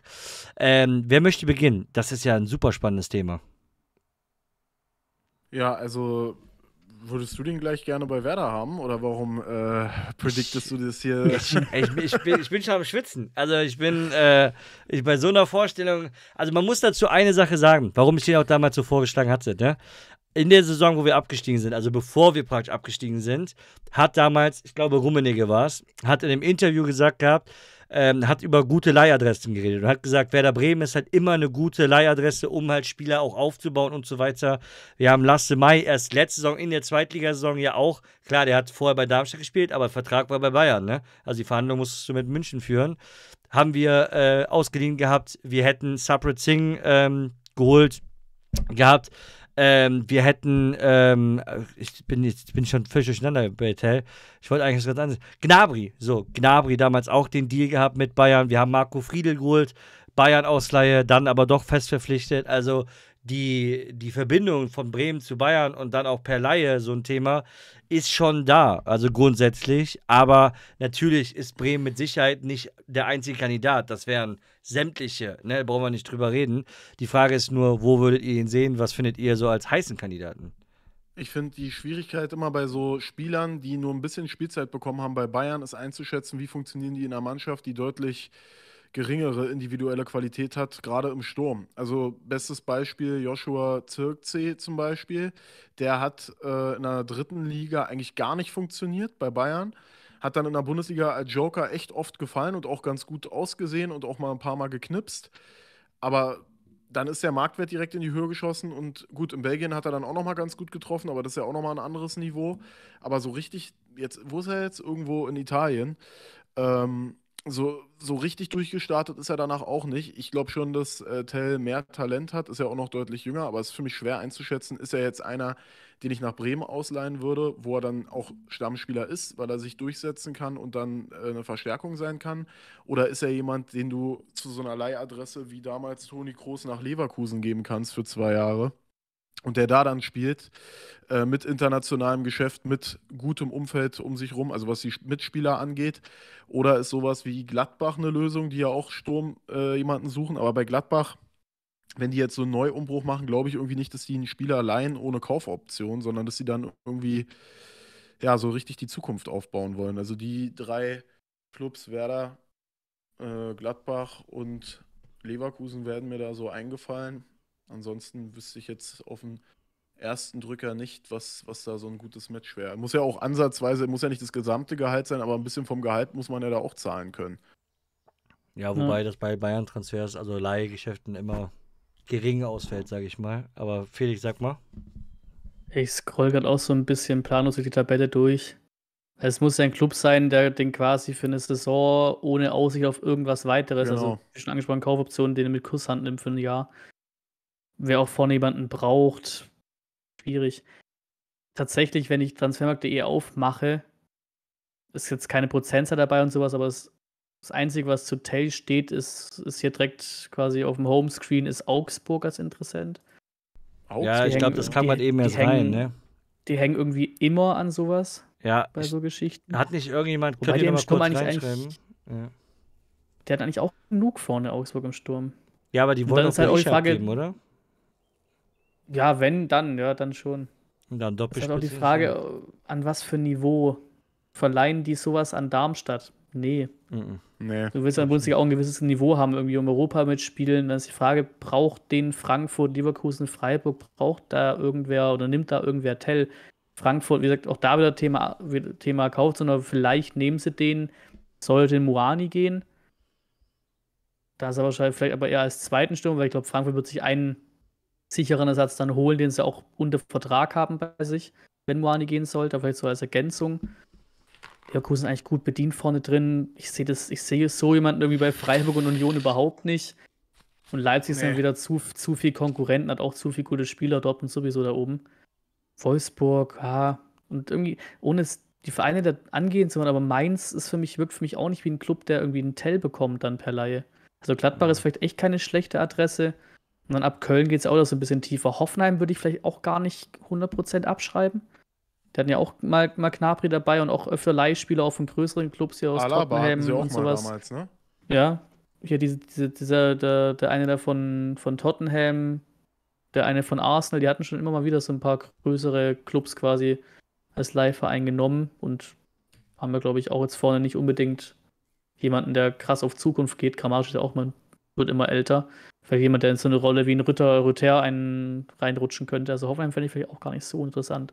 Wenn sie eben wieder besser performen, also auf Platz 12 werden sie nicht dahin verleihen. Also ich sag euch ehrlich, erstmal glaube ich, äh, Leverkusen damals wäre ich dabei. Leverkusen heute sage ich auf keinen Fall, weil die werden für Bayern keine Spieler mehr weiterentwickeln. Die haben so ein Anti-Bayern-Ding. Die lassen ja auch keine Spieler dahin gehen. Also die, die sagen sogar äh, freiwillig, nehmen die lieber weniger Geld, dann aber ins Ausland, anstatt zu Bayern. Bei Vidal war das ja damals richtig geil, wo das dann da alles rauskam. Ähm, und Harvards auch. Also Harvards haben die damals ja auch gesagt, du kannst, äh, geh wohin du willst, werd glücklich, aber zu Bayern darfst du nicht. Und das ist, äh, also das werden die nicht machen. Ähm, Spieler noch für Bayern weiterentwickeln. Deswegen wäre Leverkusen für mich da raus. Frankfurt, wenn Mo Moani geht, haben die genug Geld, um einen festen Ersatz zu holen. Ja. Deswegen ist Tell eigentlich da auch raus. Freiburg glaube ich nicht, dass die so ein, sich auf so ein Leihgeschäft, sage ich mal, dann einlassen, also den dann da irgendwie für Bayern ausbilden. Ähm, bei Union bin ich voll bei dir, auch bei was du gerade gesagt hast, Felix, da sehe ich ihn einfach nicht. Auch so von der, dieses Kämpfermentalität-Dings, Felix, wie oft haben wir darüber geredet, wie Union spielt, das ist so, Ja. Kann ich mir ja gar nicht vorstellen. Null. Dann eher wirklich Augsburg sehe ich auch sogar heiß im Rennen, wenn wirklich, hier hat auch gerade eben jemand reingeschrieben, liebe Grüße gehen raus an Kirsch, 1, äh, hat reingeschrieben, Lautsport Bill will Augsburg ihn sogar. Also ähm, das wäre gar nicht so verwunderlich, ohne jetzt da irgendwie auf Quelle, wie seriös das, das ist jetzt ja vollkommen irrelevant, weil wenn Augsburg Berisha abgibt und die haben den ja günstig, guck mal, was ist das für ein Deal, ne? Wenn die den so günstig geschossen haben, dann jetzt teurer weiterverkaufen können, Tell ausleihen können, vielleicht sogar für äh, ein Jahr plus Option auf ein weiteres oder so, wäre das so ein Augsburg-Ding, was natürlich interessant wäre. Für Werder könnte das eben auch sehr interessant sein, weil wir, wir können uns keine Spieler von diesem Format leisten. Das ist halt völlig ausgeschlossen. Und deswegen wäre es halt, um erstmal einen qualitativen Ersatz auch noch mitzuhaben und weil wir im Sturm eh viel machen müssen, also wenn halt, ne, nehmen wir mal an, jetzt Füllkrug und durchgehen, dann wird da eine riesen Baustelle aufgemacht, dann kann sowas natürlich funktionieren, dass du sagst, okay, einen Spieler kaufen wir, weil wir das Geld haben, um da jemanden fest zu verpflichten, sagen wir jetzt durch Füllkrug geben, und einen leihen wir uns eben, um diese Qualität trotzdem reinzuholen, dann wäre das so ein Szenario, wo ich Tell auch durchaus gerne natürlich auch bei Werder sehen wollen würde, weil ich glaube, wenn der wirklich viel Spielzeit bekommt in der Bundesliga, der wird so abrasieren. Man hört ja auch von vielen Bayern-Fans, dass sie sich den gerne mehr gewünscht hätten in der Startelf. Es ist aber die Situation ja auch. Bayern wird mit Sicherheit einen Stammstürmer kaufen. Also, Ja. äh, das ist ja fast ganz klar schon. Und dann ist es für Tell noch schwieriger. Schuppomoting hat man verlängert. Der ist zumindest als Backup nächste Saison noch da. Was ist, was hat dann Tell nächste Saison für eine Rolle? Ne? Und deswegen fand ich das von Anfang an nicht abwegig. Viele haben äh, vor einem Monat noch gesagt, äh, warum sollen die ihn verleihen und sonst was. Salihamidzic hat sich ja dazu auch geäußert gehabt. Aber viele Experten haben immer wieder auch betont, dass sie sich das gut vorstellen könnten. Ich habe auch gesagt, ich also grundsätzlich, Spielpraxis für Bayern ist doch perfekt. Ich meine, wie alt ist er jetzt? 18 geworden oder so? Oder wird 18? Das ist halt sau jung noch. Selbst wenn du den zwei Jahre verlässt, überlegt euch das mal. Und der spielt zwei Jahre wirklich ähm, durch in der ersten Liga. Dann kriegen ihn 20-Jährigen zurück. 20. Das ist immer noch brutal ja. jung. Also ähm, aus Bayern-Sicht kann ich mir sowas extrem gut vorstellen, äh, dass das dann auch wird. Wie gesagt, Artikel kam ja auch gestern erst dazu. Ne? Ähm, hier nach Salihamidzic Abgang, FC Bayern Insight hat das sogar gepostet gerade. Äh, nach Salihamidzic Abgang, Tellay ist erneut ein Thema beim Bayern, äh, bei Bayern. Und Ran hat jetzt vor 25 Minuten, kann natürlich sein, dass sich darauf auf den Sportbildartikel bezogen haben, geschrieben, ähm, FC Bayern äh, Transfers und News wird Matthias Tell innerhalb der Bundesliga verliehen. Also das Thema ist auf jeden Fall brandaktuell, das kann man auf jeden Fall mal sagen. Und mit Sicherheit interessant für einige Clubs, gerade in der Bundesliga. Ab nach Heidenheim. ja, Kleindienst verkaufen Aber und Tell leihen.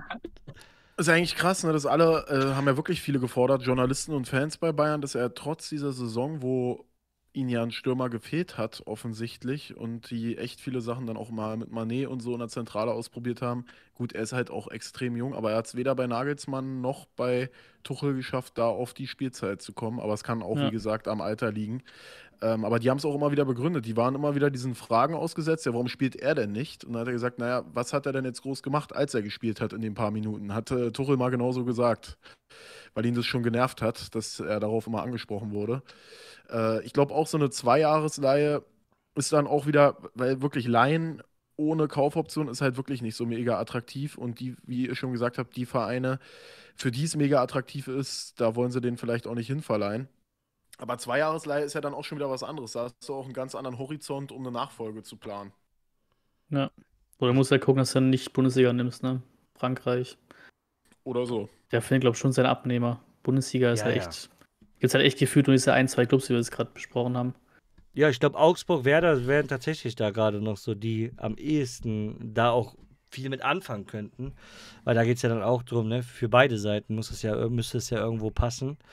Und sonst, klar, äh, ich, das ist auch wieder sowas, ne? Niederlande, Topclubs, äh, League O, eventuell, wobei bei League O muss man dann müsste dann halt auch gucken, wo, aber klar, rein theoretisch äh, auf jeden Fall auch machbar ist halt ein Riesentalent. Ich glaube, Kandidaten wird es genügend geben. Die Frage ist auch so ein bisschen was für Bayern. Wenn das so stimmt, dass die den in der, innerhalb der Bundesliga verleihen wollen, dann wird man mit den zwei, drei Clubs reden, die eben äh, da ja. rein theoretisch sein könnten. Und dann, wie gesagt, finde ich das ein super, super spannendes Thema jetzt für, für den Sommer. Aber wenn wir mal gerade kurz eh bei Bayern gerade sind, können wir ja mal kurz einen Umschwung machen und sagen, was glaubt ihr denn? Ich meine, Mittelstürmer offensichtlich, die suchen ja wer könnte denn? Kane hat abgesagt, ne? Will nicht nach Bayern. Ja, das Kane-Thema ist, glaube ich, durch. Das ja, ist zu lange gekaut worden, als dass da irgendwas dann doch passiert. Ja. Ich glaube, Flauwitsch ist ja gerade recht, recht heiß. Mhm. Und das, ja, könnte ich mir sogar ganz gut vorstellen. Weil den auch alle nicht mehr, also, oder manche nicht mehr so richtig ganz auf dem Zettel haben, weil mit Juve irgendwie gerade generell nicht so richtig das Spotlight da drauf ist. Aber ah, der Mann ist immer noch sau jung. Vielleicht kriegst du auch ein bisschen billiger geschossen dann. Könnte, Juve hat doch extrem viel Geld für den ausgegeben, oder? Ich schau gerade. 81 an Florenz. Ja. Man hat auch noch 75 Millionen Marktwert, aber ich glaube, die Juve-Aktie gerade, Europa League und sowas, Punktabzug ist ein bisschen gesunken generell, auch das Ansehen so ein bisschen. Vielleicht kannst du den Tacken billiger schießen und sonst gibt es ja drumherum. Ich sehe ich seh ganz ehrlich dieses Moani-Ding einfach nicht. Nee, ich glaube ja. einfach nicht, dass das, dass das groß funktioniert. Und dann gehen auch da so ein bisschen, natürlich die Optionen aus, aber die, die sinnvollen Ideen irgendwie so ein bisschen aus. Oder habt ihr noch irgendwie andere Namen neben denen?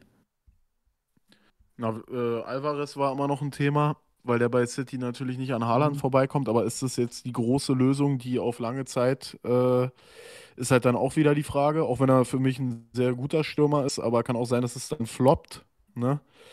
Ähm, dann gibt es, ja, auch wenn das jetzt nicht mehr so heiß ist, aber gab es ja immer diese über, äh, Thematik Überbrückung mit Füllkrug, um irgendwann woanders nochmal anzugreifen. Aber der Stürmermarkt ist ja dadurch, werden wir ja später noch zu kommen, aber ist ja dadurch auch nochmal schwieriger jetzt für Bayern, durch diese Benzema-Thematik vielleicht. Ja? Also dadurch könnte es ja für Bayern gleich nochmal schwieriger sein, dass automatisch einer mehr mitbietet bei den Kandidaten, die sie für interessant empfinden. Und ich finde, Vlaovic, ja, Saison war auch nicht, also die war jetzt nicht katastrophal von ihm. Ohne Punktabzug würden die auch ganz gut dastehen. Ich glaube, auf Platz 2. Ne? Ähm, trotzdem hat man sich, glaube ich, von Vlaovic ein bisschen äh, mehr erhofft in der Saison. Aber am Ende steht er halt trotzdem bei zumindest mal zehn Toren in der Serie A, einem Tor in der Champions League, drei Tore in der Europa League.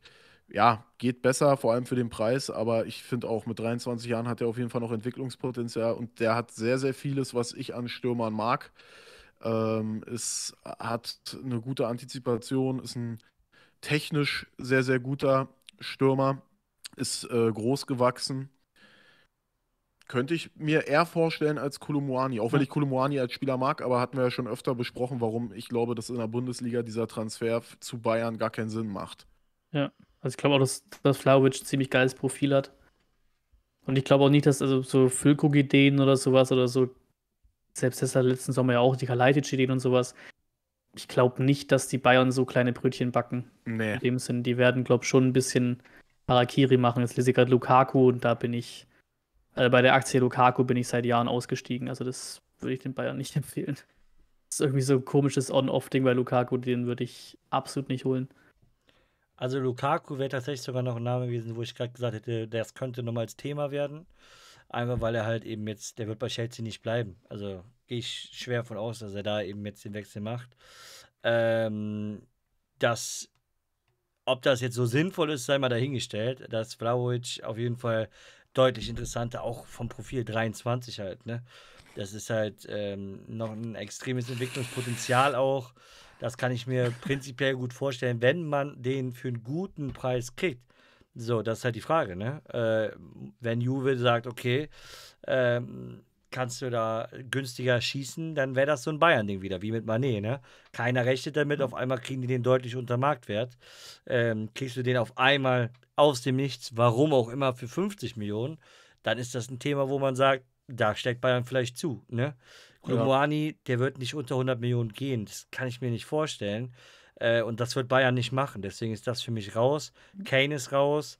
Alle großen Namen sind raus. Und deswegen sage ich auch, Lukaku könnte eventuell nochmal heiß werden, weil er halt diesen Namen hat. Vlaovic ja. könnte nur heiß werden, wenn die Summe passt. Usimen auch ganz weit weg, also kann ich mir auch im Leben nicht vorstellen. Und dann bin ich tatsächlich auch wieder bei, es kann sein, dass Füllkrug am Ende nochmal Thema wird. Wenn diese ja. Stürmerliste durchgearbeitet ist, man nichts Sinnvolles erachtet, dann ist Füllkrug so eine Sofortlösungsnummer. Deutsche Nationalspieler, mag Bayern sowieso, kennt die Mitspieler, die mit Sicherheit da auch mitreden werden. Fanliebling, sowohl beim DFB äh, als auch bei Werder. Also er hat ja selbst bei der WM die meisten Trikotverkäufe gehabt als Neueinsteiger. Das ist so, das haben wir ja nicht so oft, gerade im DFB überhaupt Beliebtheit zu schaffen, ist schon schwer. Und ähm, das wäre so ein Bayern-Ding. Also das wäre, und da muss man auch sagen, da sind die 20 Millionen auch gar nichts. Also das ist so, ja. das machen die und dann sagen die, dann haben wir jetzt gerade Ruhe. Also das ist nicht mal. Erstmal haben wir erstmal Ruhe. Genau, eben. Das ist, äh, so ist das. Aus Füllkrugsicht braucht man nicht drüber reden. Für den wäre das wahrscheinlich der geisteskranke Schritt, weil wenn Bayern wirklich Tell verleiht, Schuppomoting als Ersatz, dann ist der da als Startelfspieler nach München. Das ist ja geisteskrank. Ähm, ich würde es ihm total gönnen. Ich traue ihm das auch zu, weil er ist ein klassischer Mittelstürmer, er haut die Dinger auch rein. Ja. Das macht er. Hat er auch äh, jetzt auf internationaler Bühne mal zeigen können, auch ähm, für Deutschland.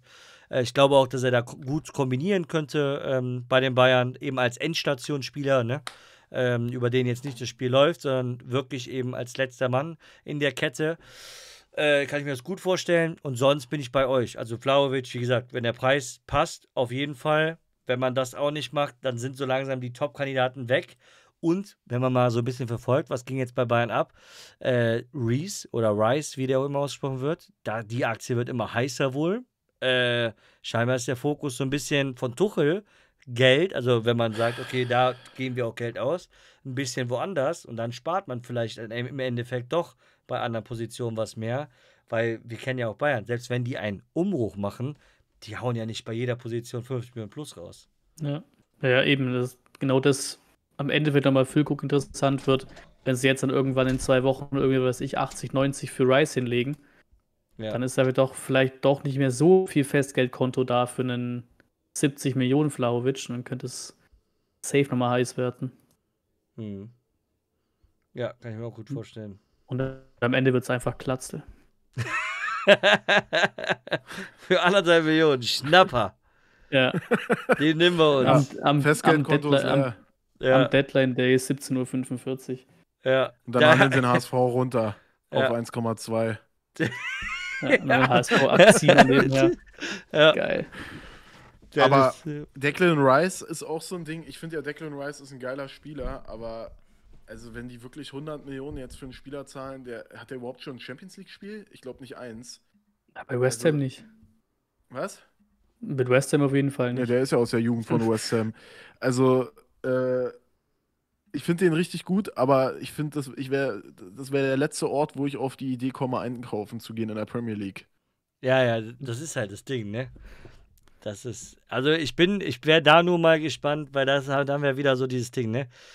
Du holst halt jemanden oder würdest dann jemanden holen, wo du halt wirklich auch so einen Charaktertyp holst, ne? Ist ja auch Kapitän, ähm, der ist trotzdem noch jung mit 24, also das wäre so ein Ding, Marktwert, überleg mal, 80 Millionen, ich bin voll bei dir, ich würde auch niemals auf die Idee kommen, in der Premier League zu shoppen, also Nee. das, da gibt es wirklich, glaube ich, deutlich äh, andere Lösungen. Aber Tuchel kommt aus der Premier League, hat, sieht vielleicht was in ihm und das ist vielleicht einer seiner Wunschspieler. Und ich glaube, jeder Trainer bei Bayern hat so einen Spieler, wo er sagen kann, den will ich unbedingt.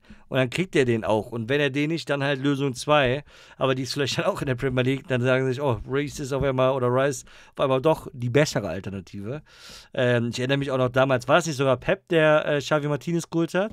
Ich weiß es gar nicht mehr. Das war da auch so geisteskrank teuer Kann damals. sein. War sehr teuer für Ja, damalige Verhältnisse. ja. 40 Millionen war Genau. damals richtig viel. Ja. Ja. das war so, wo jeder so gesagt hat, Alter, und dann viele haben den Namen noch nie gehört, ne? Wer ist denn Martinez? Ja. So, das ist so. Also, das kann halt auch wieder so eine Nummer sein. Hat vielleicht nicht jeder, der jetzt nicht unbedingt Premier League guckt, auf dem Radar. Ist natürlich ein Spieler, wo ich auch sage, also Qualitätsspieler gar keine Frage. Der ist auch ein toller Spieler.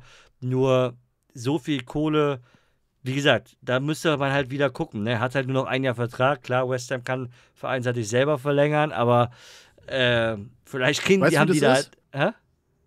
Weißt du, wie das ist? In Ja. der Premier League einkaufen ist eigentlich so, als wenn du, du hast direkt vor dir stehen eine Aral-Tankstelle und ein Rewe und du kaufst dir dein äh, Sixer Bier oder deine Kiste Bier bei der Aral-Tankstelle.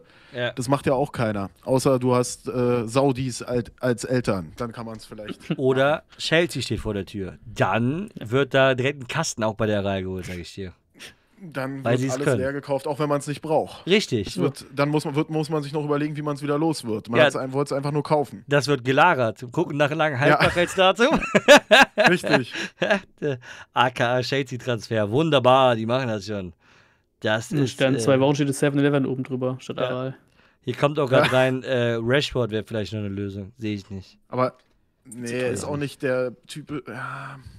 Aber Rashford hat eine geile Saison gespielt, muss man sagen. Aber auch da wieder extrem teuer. Aus Ja. der Premier League von Manu eingewechselt. Also, Ja, Wie viel willst du zahlen? passiert nicht. Das ist so, weißt du, das ist halt. Stell mal vor, die, die ach, überleg mal, Transferplan bei den Bayern. Die ersten drei Transfervorschläge, alle Premier League. Junge, da bist du 300 Millionen losgefühlt. ja. Was ist Sofort. Ja. Da ist danach heißt Hönes, auf Hönes, einmal, Hönes äh, weint sich in den Schlaf. ja, du hast ja, noch keine Gehälter bezahlt. Die Ja, Gehälter ja, da kommen hast auch noch du dazu. kein- Du ja, siehst ja ja. bei Manet, ne? 20 Millionen. Also, Ja. Ja, ich glaube, nur Neuer verdient mehr, ne? ich glaube, Lewandowski hat vorher noch mehr verdient. Ich glaube, Ja. der war ziemlich hoch, aber Neuer ist, glaube ich, auf Ja. 1, 21 oder so. Das verdient der, glaube ich. das war ein teurer Skiunfall. Ich, ich sehe aber Rice irgendwie auch eher in England, so Arsenal oder sowas. Ja. Und wird den da irgendwie auch lieber sehen. Ja, die Das ist Sache ist halt. Tuchel will halt, ich kann eine Sache verstehen, der will halt ja diesen kantigen, klassischen Sechser, ne? Also wirklich einen, der, wo du so einen Brocken hast, der dann auch mal vielleicht aus der Haut fährt. Goretzka ist das nicht. Wenn man sagt, Goretzka, klar, er ist körperlich, ähm, kann er das, aber der ist eher ein Achter, das ist ein Box-to-Box-Spieler. Plus Kimmich, der macht halt manchmal Sachen, also der rennt halt manchmal an äh, in Situationen rum, da hast du halt gar keine Absicherung. So, und äh, wenn du da einen festen Spieler haben willst, dann ist Kimmich da der falsche Mann für. Dann reden wir halt über so Kandidaten wie jetzt ihn oder so. Wisst ihr, das ist genauso wie damals auch mit Casemiro, so bei Real.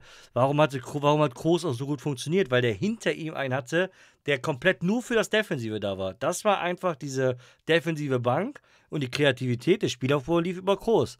Aber Groß selber, klar, wenn er mal im Zweikampf war, war der da. Aber das ist ja jetzt nicht Ja. der größte Sprinter, der hin und her läuft für, weiß ich nicht, sondern wirklich der, der über seine Technik kommt. Und ich glaube, dass sowas in der Art Tuchel vielleicht integrieren will, ne? dass man wirklich eben dahinter einen Abräumer einfach nur hat. Tja. Und wieder halt ein absolut großer Name, ne? Ja, vor allen Dingen, das wäre ja auch wieder so ein. Domino-Effekt. Große Ne? Wenn du da. Weil sonst kannst du ja auch Ja. auf kleineres gucken, sonst kannst du auch sowas wie einen Skiri gucken, der ablösefrei ist und bei Köln sensational spielt. Aber da, Aber macht das so, Bayern äh, das dann so wieder? nee, eben, in sowas Ja. gehen die nicht rein. Das ist, das Die haben ist ja so schon Konrad niedrig. Leimer, äh, äh, Konrad Leimer. Die haben sie ja auch noch. Sabitzer kommt vielleicht zurück. Aber den wollen die doch Ja. fest abgeben, oder? Ja, würden sie abgeben. Aber äh, am, ja, muss erstmal einer geben. Ich weiß, diesen Leimer-Transfer, also was sich Leimer selber davon erhofft, weiß ich auch noch nicht so ganz. Aber vielleicht spielt er auch dann die ganze Zeit. Mal gucken. Ganz ehrlich, Spieler für die Kaderbreite, sage ich.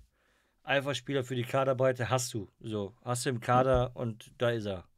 Wenn er es macht, dann cool. Wenn der nach acht Wochen meckert, dann hast du ein Problem gekauft. Ja, f- gut, ich glaube, der wäre sowieso eigentlich so ein Nagelsmann-Ding gewesen, ne? Ich weiß, ich glaube, Tuchel Ja. denkt sich auch so, ja, warum haben wir den eigentlich? Also, Was soll der jetzt hier? ja. Wie, der kommt nicht aus England. Hey. ja. Ich habe gesagt, keine Spieler unter 80 Millionen. Siehst du, die Marktwerte auf einmal überall hoch am Steigen. Ja, Wollo, da bin ich doch. Ja, aber Skiri auch eine sehr interessante Aktie, ne? Boah, Skiri. Ablösefrei diesen Sommer, bin gespannt. Vor allem alle Gerüchte, die du so gelesen hast bisher, waren irgendwie echt gar nicht so das krasse Niveau irgendwie. Ja, ich glaube nur Leverkusen, ne? Jetzt Leverkusen kam jetzt nochmal rein. Oder irgendwo in Frankreich oder sowas, glaube ich auch. Also irgendwie Startrennen, hatte ich ne? da war mehr das. erhofft tatsächlich. Ein Ja. größeres. Für Also- die Werte, die er jetzt mal abliefert, ist schon. Hm? Frankfurt? Frankfurt. Ja, also. pff, Kamada hat bei Sechser- denen jetzt auch öfter mal Sechser gespielt, obwohl, die, obwohl Ja. der ja eigentlich kein Sechser ist, äh, weil die da jemanden brauchten. Wenn So auch noch geht. Leverkusen macht das ja gerne, ne? Dass die von Köln eigentlich zwar jüngere Spieler Ja. äh, eher holen von Leverkusen und dann weiterentwickeln und äh, sehr, sehr teuer auf einmal machen. Aber äh, das wäre auch so ein Ding, weil, ich weiß nicht, ob ihr es mitbekommen habt, vor zwei Stunden, glaube ich, die Meldung reingekommen. Leverkusen hat äh, Umdenken gemacht wieder. Haben sich jetzt entschieden, Amiris Vertrag doch nicht zu verlängern. Soll abgegeben werden im Sommer. Das heißt, äh, genau, auch sehr interessant, Amiri. Heißt auch wieder noch ein Platz mehr im Mittelfeld wird frei. Demir bei, Platz im Mittelfeld wird frei. Das kann sein, dass die ihr Mittelfeld da komplett neu gestalten. Dann werden ablösefreier Skiri ein super Transfer für Leverkusen. Muss man sagen. Kann man Ja. nicht viel falsch machen, ne. Nee, der, der ist vor allen Dingen, das ist ja wirklich ein geiler Abräumer. Also als Ja. wir jetzt äh, gegen den gespielt haben, habe ich noch gesagt, da hat jemand auch reingeschrieben gehabt, ähm, weil, weil wir reden ja, also bei Bremen ist ja das Hauptthema, wann holen wir mal wieder einen Sechser und äh, wer, ne? Und da habe ich gesagt, ein Spieler, der so spielt, das, das ist das, was, glaube ich, jeder Verein gerne hätte. Der räumt dir hinten alles ab, der ist immer im ba also immer im Raum. Du kommst nie an dem vorbei. Das heißt, egal wie du das Spiel irgendwie aufziehst, du hast einen Skiri immer im Raum mit drinne. Das heißt, du musst irgendwie immer um den rumspielen. Körperlich total präsent, kann aber dann auch noch Spielaufbau und rennt mit nach vorne. Was, was willst denn du mehr? Also äh, selber noch torgefährlich, haut die Ja. Dinger noch von hinten drauf. Äh, das ist also ein super, super krasser Sechser. In Anführungszeichen, ohne das jetzt despektierlich zu meinen, aber viel zu gut für Köln auch. Ja. Ähm, der, wie gesagt, wenn der jetzt bei seinem äh, kommenden Verein ein super Jahr hat, dann wird er auch nochmal äh, ja, beliebter werden, auch wenn er halt schon 28 ist, in Anführungszeichen, aber das ist egal. Also auf der Sechser, gerade auf der Sechser-Position, ähm, ja, bin ich, glaub, also er muss ja eigentlich zu einem Verein gehen, der jetzt international spielt. Muss sowas wie Leverkusen Muss. sein. Safe. Ja. Das ist jetzt der nächste Schritt, den er machen muss in dem Alter auf jeden Fall. Äh, heute ist auch äh, Seoane fix gemacht worden, ne? Ja? Ja. Gar nicht, gar nicht schlechte Idee, ey. Gar nicht schlechte Idee. Ist ein guter Trainer. Irgendwie komisch gewesen ist es dann bei Leverkusen gar nicht mehr geklappt hat. Ne? Äh, hat ja auch lange gedauert, bis Xabi Alonso das dann wieder rumreißen konnte, das Ruder mit dem Kader. Aber Seoane äh, in der Schweiz schon sehr erfolgreich. Am Anfang war die erste Saison bei Leverkusen war ja auch richtig gut. Ähm, Finde ich eigentlich einen interessanten Trainer für einen Neuanfang. Mal gucken, ob sie jetzt mal einen Trainer haben, der länger als ein Jahr durchhält. Gladbach ist schon krass, ey. Aber ha- hattet ihr den bei Gladbach gesehen, so vom Typ her? Kommt drauf an, was sie Ja. jetzt für eine Mannschaft da zusammenbauen. Der muss halt einen kompletten Umbruch jetzt, ne? Den muss er jetzt leiten. Ja. Also Die haben ja noch vom- den Sohn von Schmatke geholt als Sportdirektor oder wa- was er da machen soll. Hm. Ich meine, so vom freien Trainermarkt, das ist Mhm. halt schon eine gute Aktie, Safe. Seoane. Und da Marco ist schon eine gute Wahl. Die hatten, äh, haben sich sowieso äh, Trainer geholt, die jetzt äh, nicht unattraktiv ähm, waren ne, zu dem Zeitpunkt. Also erstmal hatten sie Marco Rose, dann hatten sie Adi Hütter, dann haben sie Farke geholt, der ja auch zumindest mal nachweisen konnte, zweimal mit Norwich aufgestiegen zu sein in der Premier League. Und äh, wenn sie dann jetzt mit Seoane, also da muss auch mal irgendwann wieder was rausspringen, würde ich sagen. Ja. Muss der Kader natürlich dazu stimmen, klar. Hm. Und die haben einige Baustellen jetzt natürlich, ne? Sturm, ähm, Stindel weg, vielleicht ein Manu Kone weg. Weigel bleibt, glaube ich. Ich glaube, Kone ist allein weg, für, um Geld freizumachen. Genau. Das wird da wahrscheinlich so das Ding sein. Ich äh, bin gespannt, was der in Gladbach macht. Ich, ich sag halt so prinzipiell, ich bin irgendwie kein Fan von ihm als Typ, muss ich sagen.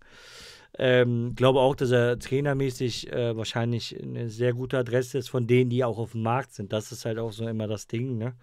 Äh, hat bei Leverkusen auch keine im Gesamten keine schlechte Arbeit gemacht. Aber ähm, ich weiß nicht, ob das der richtige Mann ist, um so einen Umbruch jetzt zu leiten, sage ich ehrlich. Also aus meiner Sicht jetzt. Ähm, bin sehr, sehr gespannt, abwartend da. Äh, aber ja, äh, mal schauen. Ist auf jeden Fall das Gegenteil von Farke so. Also wenn man die Hm. jetzt mal so vergleicht. Ist ja auch äh, ähnlich wie Korkut, sehr, sehr sprachbegabt. Der kann irgendwie äh, Deutsch, Französisch, Italienisch, Portugiesisch, Spanisch, alles irgendwie fließend. Englisch kann auch ein großer Vorteil sein, kann aber auch so sein wie bei, äh, da wurde uns ja auch so verkauft, dass Korkut so viele Sprachen so gut spricht. Hat uns auch nicht viel gebracht. verkauft. Welttrainer. Auch geil, der wurde uns auch so verkauft. Ja, weil das Problem war irgendwie, äh, die Sprachen, die er gesprochen hat, haben die Spieler anscheinend nicht verstanden. ja. Ja, wie gesagt. Nee, ich- Seoane ist aber auch noch jung, ne? Der ist erst 44. Also Ja, ja. hat ja auch noch Entwicklungspotenzial. Ich hab's ähm, dir immer gesagt, Kofeld auch. Ich meine, Kofeld ist auch äh, ziemlich jung und sprach, äh, sprachlich auch sehr begabt. der kann dir in allen Sprachen eine gute Nachtgeschichte erzählen. Ich sag dir, wie es Ja, ist. Auf, Belg auf Belgisch bestimmt auch, oder wo geht's ja jetzt hin für den? Ja, ja, Belgien. War Belgien, ne? Belgien. Auch Eupen, seine glaube ich. war's. Pressekonferenzen auf Französisch. Macht schön. er dir. Das ist gar kein Ja. Problem. Ja, der sagt Hallo, da wird Deutsch gesprochen. So ein Ding ist das. Bonjour. Ah, der, der macht dir da gar nichts, ey. Er redet einfach auf Deutsch, seine komplette eine anderthalb Stunden Pressekonferenz. Das wäre auch geil. Ja, ja, und dann lässt er im Hintergrund ist dann auch keine Werbetafel mehr von den ganzen Partnern, sondern so mit Untertitel, weißt du? Kannst Ja. du direkt äh, lesen, so die ganze Zeit. Weil das dauert ist doch ja, das ist ja, der, der macht ja eine Vorlesung, musst du überlegen. PKs bei Kofeld sind extra lang. Also, also du sagst, Johann ist nicht so ein guter äh, Take. Ja, also ich sage, es sind an, an sich kann ich mir vorstellen, wenn er da wieder so hinkommt, äh, wie, wie er damals halt auch, ähm, wo war er, bei Young Boys Bern oder so war das, ne? Ähm, ja. Young Boys Bern Ja. war der so gut. Und Luzern, glaube ich. Ja, wenn er wieder in so einen so einen Modus reinkommt, da hat er ja auch einen super Punkteschnitt gehabt, dann kann das Ganze funktionieren, wie der bei Leverkusen aber am Ende auch jetzt war. Und wenn man überlegt, Leverkusen mit dem Kader jetzt, der ja da war und dann Ja. auch den Verletzten, ist er eigentlich nicht so gut mit umgegangen und nicht so gut weggekommen. Und der soll jetzt einen Umbruch leiten. Das sehe ich halt als Problem, wo ich sage, weiß ich nicht, ob, er, ob das dann so reicht. Punkteschnitt bei Leverkusen 1,57 geholt äh, ist so, ich sag mal, im Mittelfeld bei den Leverkusen-Trainern. Ähm, gibt natürlich auch einige, die ja noch wesentlich besseren Punkteschnitt geholt haben, aber wie gesagt, der ist halt am Ende jetzt nicht gut weggekommen. Kann aber auch sein, dass Gladbach jetzt mit seinem neuen Anlauf sozusagen erstmal eine richtig gute Adresse wird. Äh, prinzipiell sage ich, ist halt ein ganz anderer Spielertyp, äh, Spielertyp, Trainertyp wie Farke. Ne? Farke sehe ich auch ein, eigentlich, ich habe mich eh so ein bisschen gewundert, wie der auch bei Gladbach war, aber eigentlich auch eher so als emotionaleren Trainer als jetzt ähm, Sioane. Aber ja, warten wir mal ab, ne? Ich nenne ja Sioane immer den Graf, weil er mich so an äh, Graf Dracula erinnert, gerade Ja, wenn er noch einen verstehen. schwarzen Mantel trägt. Ja. Äh, der so, hat schon eine Autorität, finde ich. Äh, also nicht nur, weil Strahlt er Graf was aus. Dracula ist, äh, der strahlt schon, finde ich, eine Autorität aus, aber war schon echt erschreckend bei Leverkusen. Ich weiß nicht. Aber manchmal, manchmal ist es auch einfach so, dass du eine Mannschaft einfach nicht mehr, nicht mehr erreichst. Ja. Die Alternativen, die sie hatten, waren zum einen hier der Co. von Nagelsmann, glaube ich. Den hatten Mhm. sie enger ins Auge gefasst, Topmöller und aus der eigenen, äh, aus dem eigenen Nachwuchs Polanski. Ja. Und dann ist es natürlich, wenn das die drei sind, unter denen sie auswählen, ist es natürlich die schon größte Lösung eindeutig. Und Topmüller ist ja scheinbar auch nach Frankfurt. Was man Ach, so das so? Oder habe ich das Ja. verwechselt? War, nee, Topmöller war Frankfurt, Entschuldigung, habe ich verwechselt. Oder war der auch da im Gespräch? Ich habe keine Ahnung. Nee, Ich weiß der nicht, was ja bei Frankfurt tief mit drin ist. Wird auch interessant, ne? So von Co-Trainer zu Cheftrainer. Ja, Das ist eine Nummer. Tja, oder es wird der Hansi Flick. Co-Trainer zu Cheftrainer kennen wir auch gut. Interinstrainer vor allen Dingen. Da können wir, das können wir richtig. Da haben wir eine Zeit lang. Kofeld war doch auch, Kofeld war doch auch Interimstrainer. Ja, nicht nur Kofeld, Nuri auch. Skripnik? Davor Skripnik auch. Das waren drei in wo Folge? Ja, Das war immer. Stark. Tu- das war Thomas immer, Schaf für ein Spiel. Und äh, weißt du was? Ja, und Thomas Schaff Beispiel. Weißt du, was da der glorreiche Spruch auch wieder da? Genauso wie bei jedem guten Abgang, den wir hatten. Klaassen, der dann auch gegangen ist, Gnabry, egal wer. Egal wer, hat damals schon angefangen bei Delaney. Das war, wenn wir noch weiter zurückgehen, hat es bei den Zehnern eigentlich schon angefangen. Bei Diego hat es angefangen. Den hat man ersetzt mit Özil und Marin. Die sollten es in Kombination lösen. Für Özil hat man einfach gesagt, machen wir schon. Ikichi war zwischenzeitlich mal ein Ersatz. Wir, und es kam immer ein Satz mit dabei. Wir lösen das im Kollektiv. Dieser Satz hat uns über Jahre so verfolgt, das glaubt man gar nicht. Das darfst du als Werder-Fan gar nicht mehr sagen eigentlich. Das ist, sollte ähm, verboten werden. Ganz, ganz schlimm. Aber ja, Hat sich auch die Hertha irgendwann Nuri nochmal geschnappt als Trainer oder Ja, als ja. Co-Trainer? Oder das irgendwie. war eine sehr glorreiche Zeit, wo Klinsmann ihn als äh, Co-Trainer geholt hat. Das war das, stimmt. Und dann Da hat war er ne? Interimstrainer bei ja, uns, ja. genau. Ja, stimmt. Sehr erfolgreich auch, muss man sagen. Jetzt ist er doch irgendwo glaub- griechische zweite Liga oder so. Ich habe damals echt sogar ein bisschen was von dem gehalten, der als er am Anfang angefangen hatte, wie der an der Seitenlinie mitgegangen ist, ne? So dieses, weißt du, der ist ja wie ein, wie ein Knallfrosch gewesen. Pam, pam, pam, hin und her und weiß ich nicht. Da dachte ich mir, ey, wenn das jetzt noch funktioniert mit ihm als Trainer, dann will ich so einen Trainer haben eigentlich, ne? Der dann da auch mal mitgeht, wo du auch merkst, dass der mit den Emotionen dabei ist und so. Ey, wenn man Skripnik auch hatte, dann war das mit Nuri, war das so, mashallah. Äh, aber ja, da war es irgendwie doch nicht so. Kofeld, was das zum Beispiel angeht, was das angeht, war, also ich habe lange bei Nuri echt sogar noch gesagt, ne, dass, der hat ja auch gute Spiele bei uns gehabt, aber bei Kofeld war das ja so in dieser ersten Saison, wo der so richtig erfolgreich war, ne? Ähm, der hat ja erst ein halbes Jahr, hat er uns ja noch, das war ja noch in Ordnung, also alles. Dann hat er diese super Saison gehabt und dann kam diese Scheißsaison. Aber zwischenzeitlich am Anfang, der ist ja auch so ein emotionaler gewesen. Hätte auch rumgebrüllt, mitgegangen und so. Das war schon cool. Also ich mag so Trainertypen, ja. Nur, wie gesagt, bei äh, Kofeld war mein großes Problem immer, der hat einfach zu viel gelabert. Das war geisteskrank. Und der hat Sachen gesehen, die hat kein anderer gesehen. Das ist halt auch sowas gewesen. Aber ja. Ja, so, hoch, so hochhypen auf eigene, eigene Coaches ist immer schwierig. Ja, Wie ja. hieß der damals von Gladbach, der auch, auch irgendwie mal kurz Champions League war und danach komplett verschwunden ist? Der hat doch auch so einen Trainer von sich hochgezogen. Ach, war das nicht der Wolf oder so? Nee, äh, der Glatzkopf, ne? Ja, ja. Wen, wen, wo, Dieser, was? dieser Glatzkopf von Gladbach, der da war. Der war mit denen sogar in der Champions League drin, Ja. hat es ins Achtelfinale geschafft und so eine Todesgruppe durch. Dann ist Der war er so eine irgendwann Kante. komplett also so breiter. irgendwie rausgeflogen. Der war irgendwann in der zweiten, dritten Liga normal und dann irgendwie von der Bildfläche verflogen für mich. Sag mal gleich den Namen. Ich schaue gerade mal hier. Achtelfinale gegen City, da müsste er dabei stehen. Ah, nee, hä? Okay. Dann war es noch ein bisschen länger, ja. Toni, danke dir, mein Lieber. Er Schuster? meint bestimmt Michael Fronzek.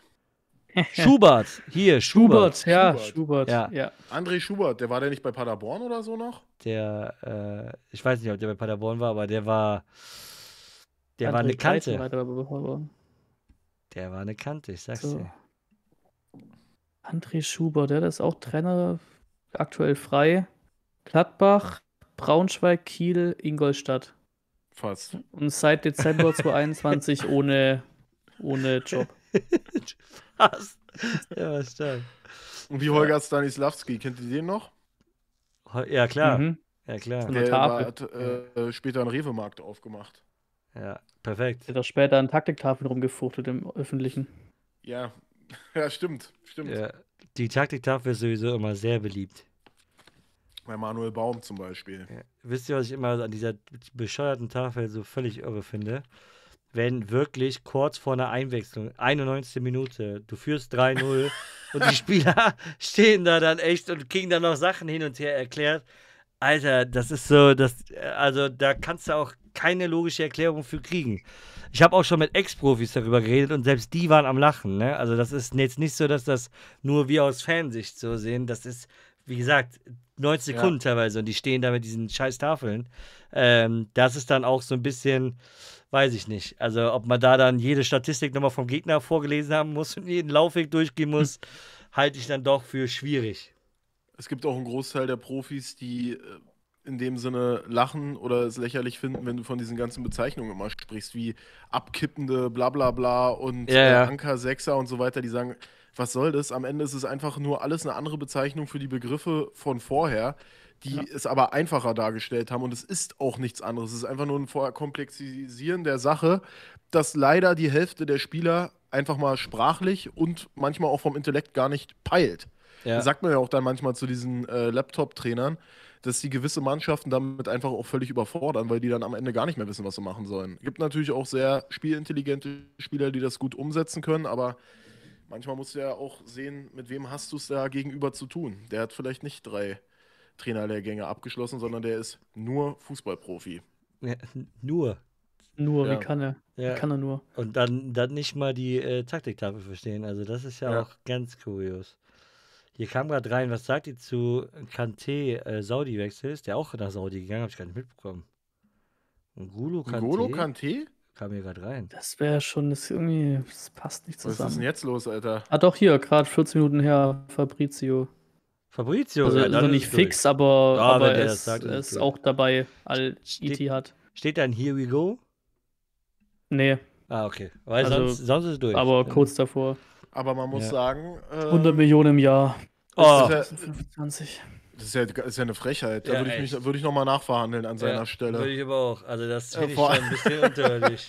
Also ganz ehrlich, äh, weiß ich jetzt nicht, wie er da über die Runden kommen soll. Also ist er Ja. wenigstens äh, WM-Botschafter 2030 danach? Das ist ja minimal Ich glaube, er wenigstens eine. Statue. Das muss schon sein. Ja. Für 500 N'Golo Millionen angefertigt. Aber gut, man muss auch berechnen davon, er kann wahrscheinlich eh nur 20% der Spieler absolvieren. Und für den Rest der Reha-Zeit sind natürlich 100 Millionen ganz okay.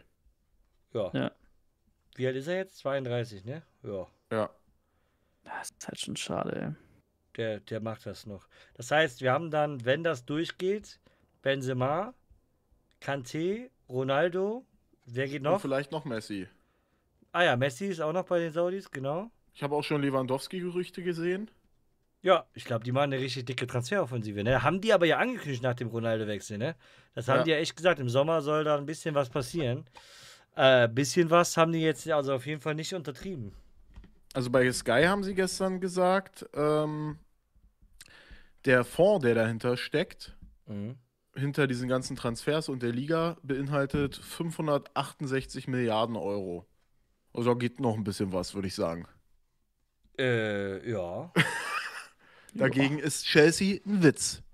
Ja, aber Arme ich sagte, die Pisser. trotzdem mit. Das ist egal. Praktikantengehalt dort. Ja, stimmt. Chelsea bietet mit. Aber Ja. Chelsea macht auch längere Verträge. Das geht halt mit Kanté nicht mehr. Die machen immer nur acht. Jahresverträge, wie für Mudrik. Ja, das ist, das ist korrekt. Das macht auch bei Kanté nicht mehr so viel Sinn.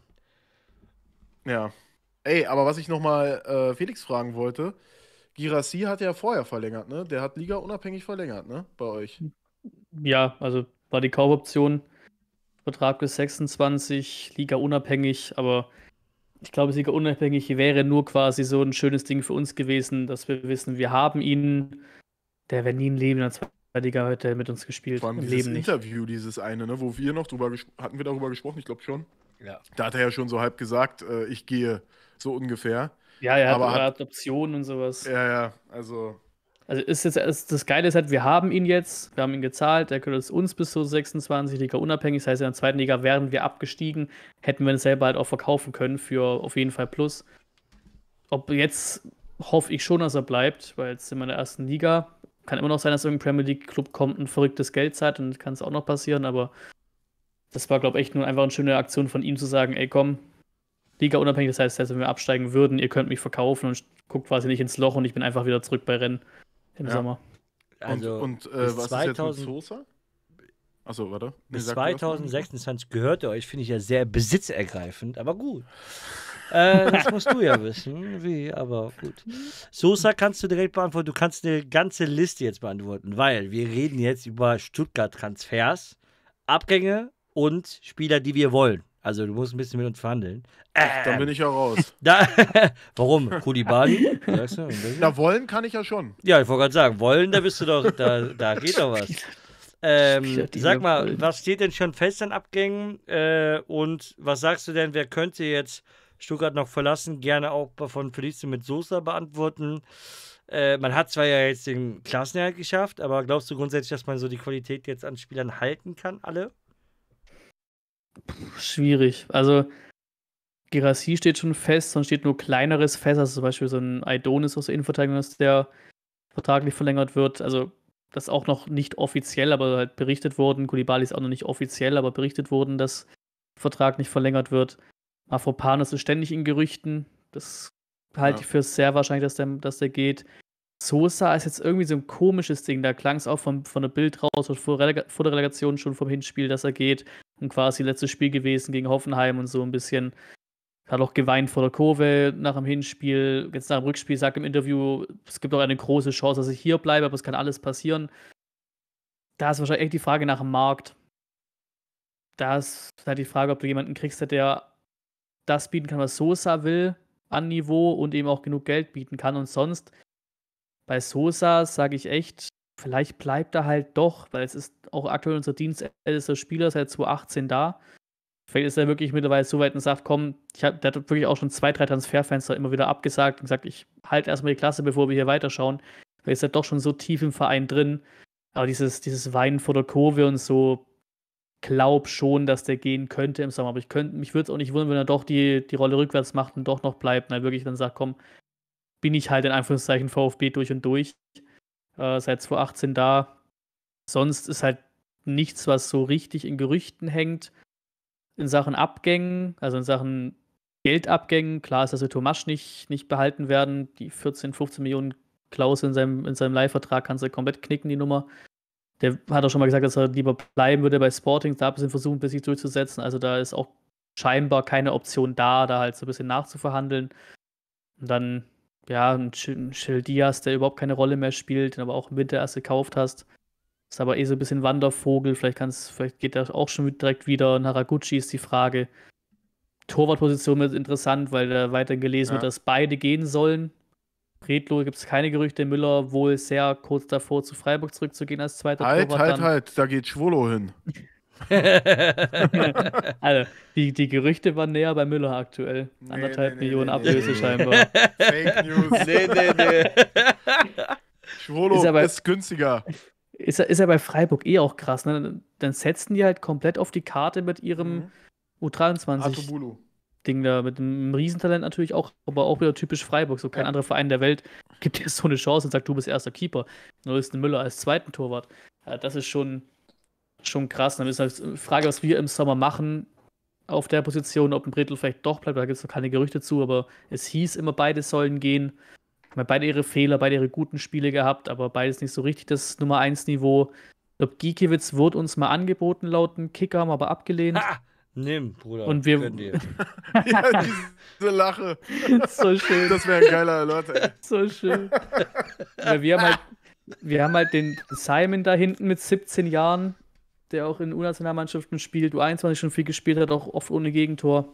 Wo du, Lotka. schon, wo du schon merkst, den willst du auf jeden Fall aufbauen. Der wird nächstes Jahr auch zu 100% zweiter Torwart sein, so wie es so es klingt, denn Simon mit 17 Jahren. Das heißt, du kannst da jetzt auch erstmal, zum Beispiel Finn Dahm oder so, du kannst jetzt keinen 24-, 25-jährigen Torwart holen und dem sagen, du, du machst jetzt hier Lückenfüller für zwei Jahre, sondern wahrscheinlich schon doch eher eine in Richtung Ticken älter. Mich würde es nicht wundern, wenn so Gerüchte um den Horn aufkommen würden, von mir aus auch Gerüchte ja. um den Ulreich.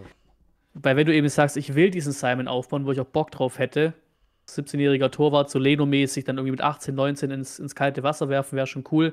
Ein Zeichen auch ganz klar, wenn er jetzt zweiter Keeper werden soll. Die Frage ist halt dann, ob man dann happy ist mit so einem Niveau, mit, mit Horn, Ulreich, Gigiewicz ist ja auch, wäre auch dasselbe Horn geblasen, so ein bisschen. Das wird schon interessant, weil Müller und Predlo beides feine Kerle, aber die haben halt beide ihre Fehler drin. Beide ihre guten Aktionen, gute Spieler, beide halt wirklich mal konstanter, mal inkonstanter, einfach ihre Fehler drin. Und das, das ist halt beides anderthalb Millionen Marktwert jeweils. Das ist nicht das Bundesliga-Niveau für eine Nummer 1. Also da wird ein bisschen was passieren. Der Rest ist halt echt bei Bedarf. Karasok jetzt immer wieder Gerüchte darum, musst du aber nicht abgeben. Ein Endo ist immer so ein Thema, ist jetzt 30, Ein hat Wahnsinniges geleistet für uns. Und ja, genau. Und das müsstest du wahrscheinlich Vertragsgespräche aufmachen oder halt die Frage bei ihm. Die Gespräche gab es immer, die Gerüchte gab es immer, die Interviews gab es immer, dass er gerne mal Premier League spielen würde. Und wenn er den Schritt gehen will, dann muss halt so langsam mal ne, mit 30. Das heißt, bei ihm gibt es keine Gerüchte, ich würde es mir auch nicht wünschen. Ich habe hier vorhin auf Twitter gerade äh, Gerücht in der VfB-Bubble gesehen, irgendwo aus Japan wahrscheinlich, dass das Freiburg interessiert sein soll an Endo. Das sehe ich mal gar nicht. Wahrscheinlich auch so, so, Ja. so ein Klatschblatt von dort. Aber Endo könnte eine Gefahr sein, vielleicht, ohne dass es jetzt Gerüchte gibt, dass er vielleicht nochmal den Schritt macht, weil wenn er ihn gehen will, dann muss er ihn jetzt gehen mit 30. Ja, ich kann, Und der dann- könnte auch den Schritt hochgehen zu Bremen. Also, Aber ich finde eigentlich Freiburg gar nicht. Freiburg äh, zu Streich, so ein Fußballer und dann Europa League könnte sogar passen. Findest ja, es ist, es ist halt irgendwie nicht dieser Riesenstep. Also, w- Ja. wenn du bei Endo was liest, dann ist es halt, ich würde gerne Premier League spielen. Das ist ja irgendwie von vielen okay. aus diesem japanischen Raum oder asiatischen Raum eh ein Ziel, irgendwie Premier League vor allem. ja, Und vielleicht. irgendwie, ich falsch glaube, wenn Endo geht, dann, dann, dann halt nur nach, dann nur nach, nur nach England, glaube ich. Und bei Endo sowieso, selbst wenn er geht, egal wo er hingeht, in Anführungszeichen, dann geht er hier mit, mit, mit Applaus, mit Statue gefühlt. Also das ist auch ganz Ja. klar bei Endo. Und das ist halt auch so das, Ding, was wir Gerüchte haben gerade, was Zugänge angeht, ohne irgendwas Näheres zu haben, da sind Innenverteidiger und sind Mittelfeldspieler Zentrale. Das heißt, es ist ganz klar, da passiert auf beiden Positionen was. Ito auch leider die Gefahr, den würde ich so unfassbar gerne halten. Da ist halt die Gefahr, dass der wirklich interessant wird für manche Clubs. Vor Panos dazu noch. Also Innenverteidigung, Mittelfeld haben wir irgendwann Carasso und Endo. Haraguchi natürlich auch die Frage, ob so einer noch, noch bleibt oder geht. Es wird auch wieder ein langer, ein langer Sommer wahrscheinlich. Aber ich bin zumindest sehr glücklich, dass wir ein paar Säulen haben, die auch hoffentlich bleiben. Mit einem Girassi zum Beispiel. Ich zähle Endo weiter dazu. Links, rechts, Wagnermann, vielleicht bleibt auch sogar ein Sosa noch. Innenverteidigung hast du einen Anton, der auch seit Wochen bockstark spielt. Ich glaube, es wirklich seit 40 Spielen oder sowas, oder 40 Spiele gemacht hat die Saison, in jedem Bundesligaspiel von Beginn an auf dem Platz stand, auch komplett underrated Anton bei uns. Zagadou findet immer, bess immer besser rein. Also die Frage, was du ersetzen musst, und natürlich die große Baustelle Torwart. Und vorne, stimmt, Sturm ist auch so ein Thema, kann man auflisten. Wir haben ja Girassi im Sturm, Tomasch ist dann weg. Wir haben Pfeiffer im Sturm, sind wir bei zwei. Dann kommt Sanko von seiner Leihe zurück als Talent, sind wir bei drei. Fahir kommt zurück, zurück von seiner Leihe, sind wir bei vier. Dann kommt, äh, habe ich Milosevic schon genannt, noch nicht, ne? Dann kommt Nee. der noch als Talent dazu, als neuer Transfer im Sommer, sind wir bei fünf. Casanaras kommt aus seiner ewigen Verletzung zurück als Talent aus der Eigenjugend, da sind wir bei sechs Stürmern. Da ist die Frage, was du mit wem anfängst.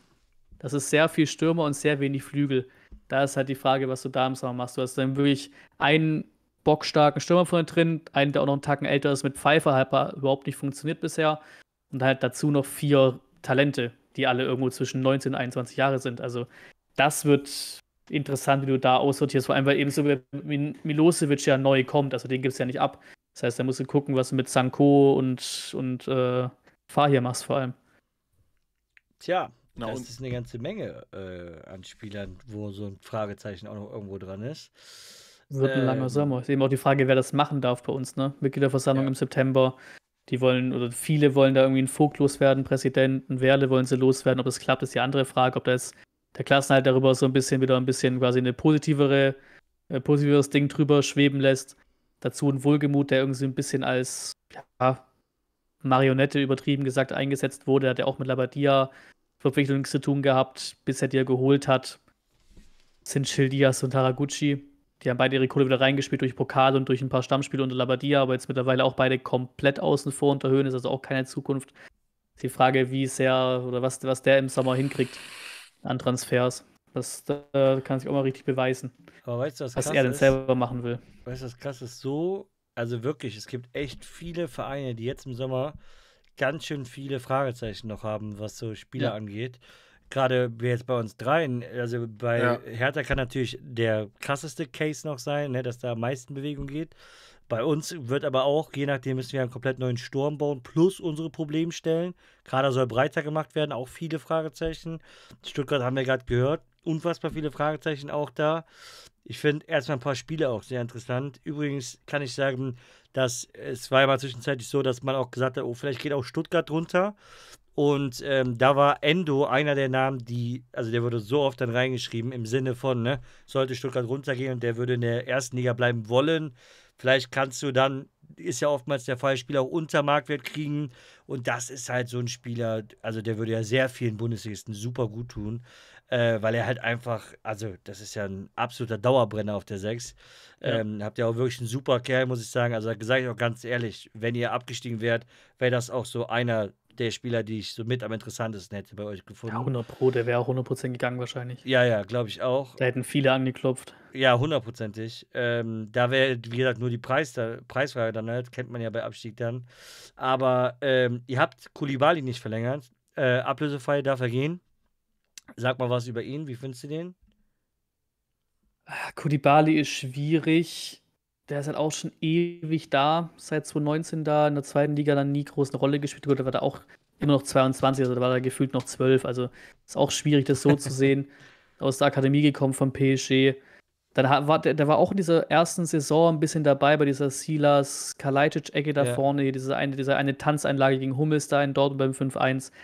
Aber sonst, das ist jetzt seit vier Jahren da und war halt absolut nie irgendwie unverzichtbarer Stammspieler oder irgendwas in der Art und Weise. Jetzt bei uns gerade mal ein paar Mal diese Saison echt ordentlich gewesen, hat auch ein wichtiger Einwechselspieler einfach komplett da vorne Verwirrung gestiftet hat, seine wichtigen Tore auch erzielt.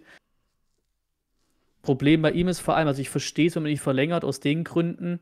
Problem ist halt, du musst ja so jemanden auch äh, ersetzen. Und mhm. da finden wir mal irgend so, irgend so einer, der genau das hat, diese, diese, diesen Witz im Spiel hat, so jung ist mit 22, Tempo, Tempo hat, der halt, der halt dann quasi, ich sag mal, so billig wäre, wie es wäre, ihn einfach zu verlängern. Mhm.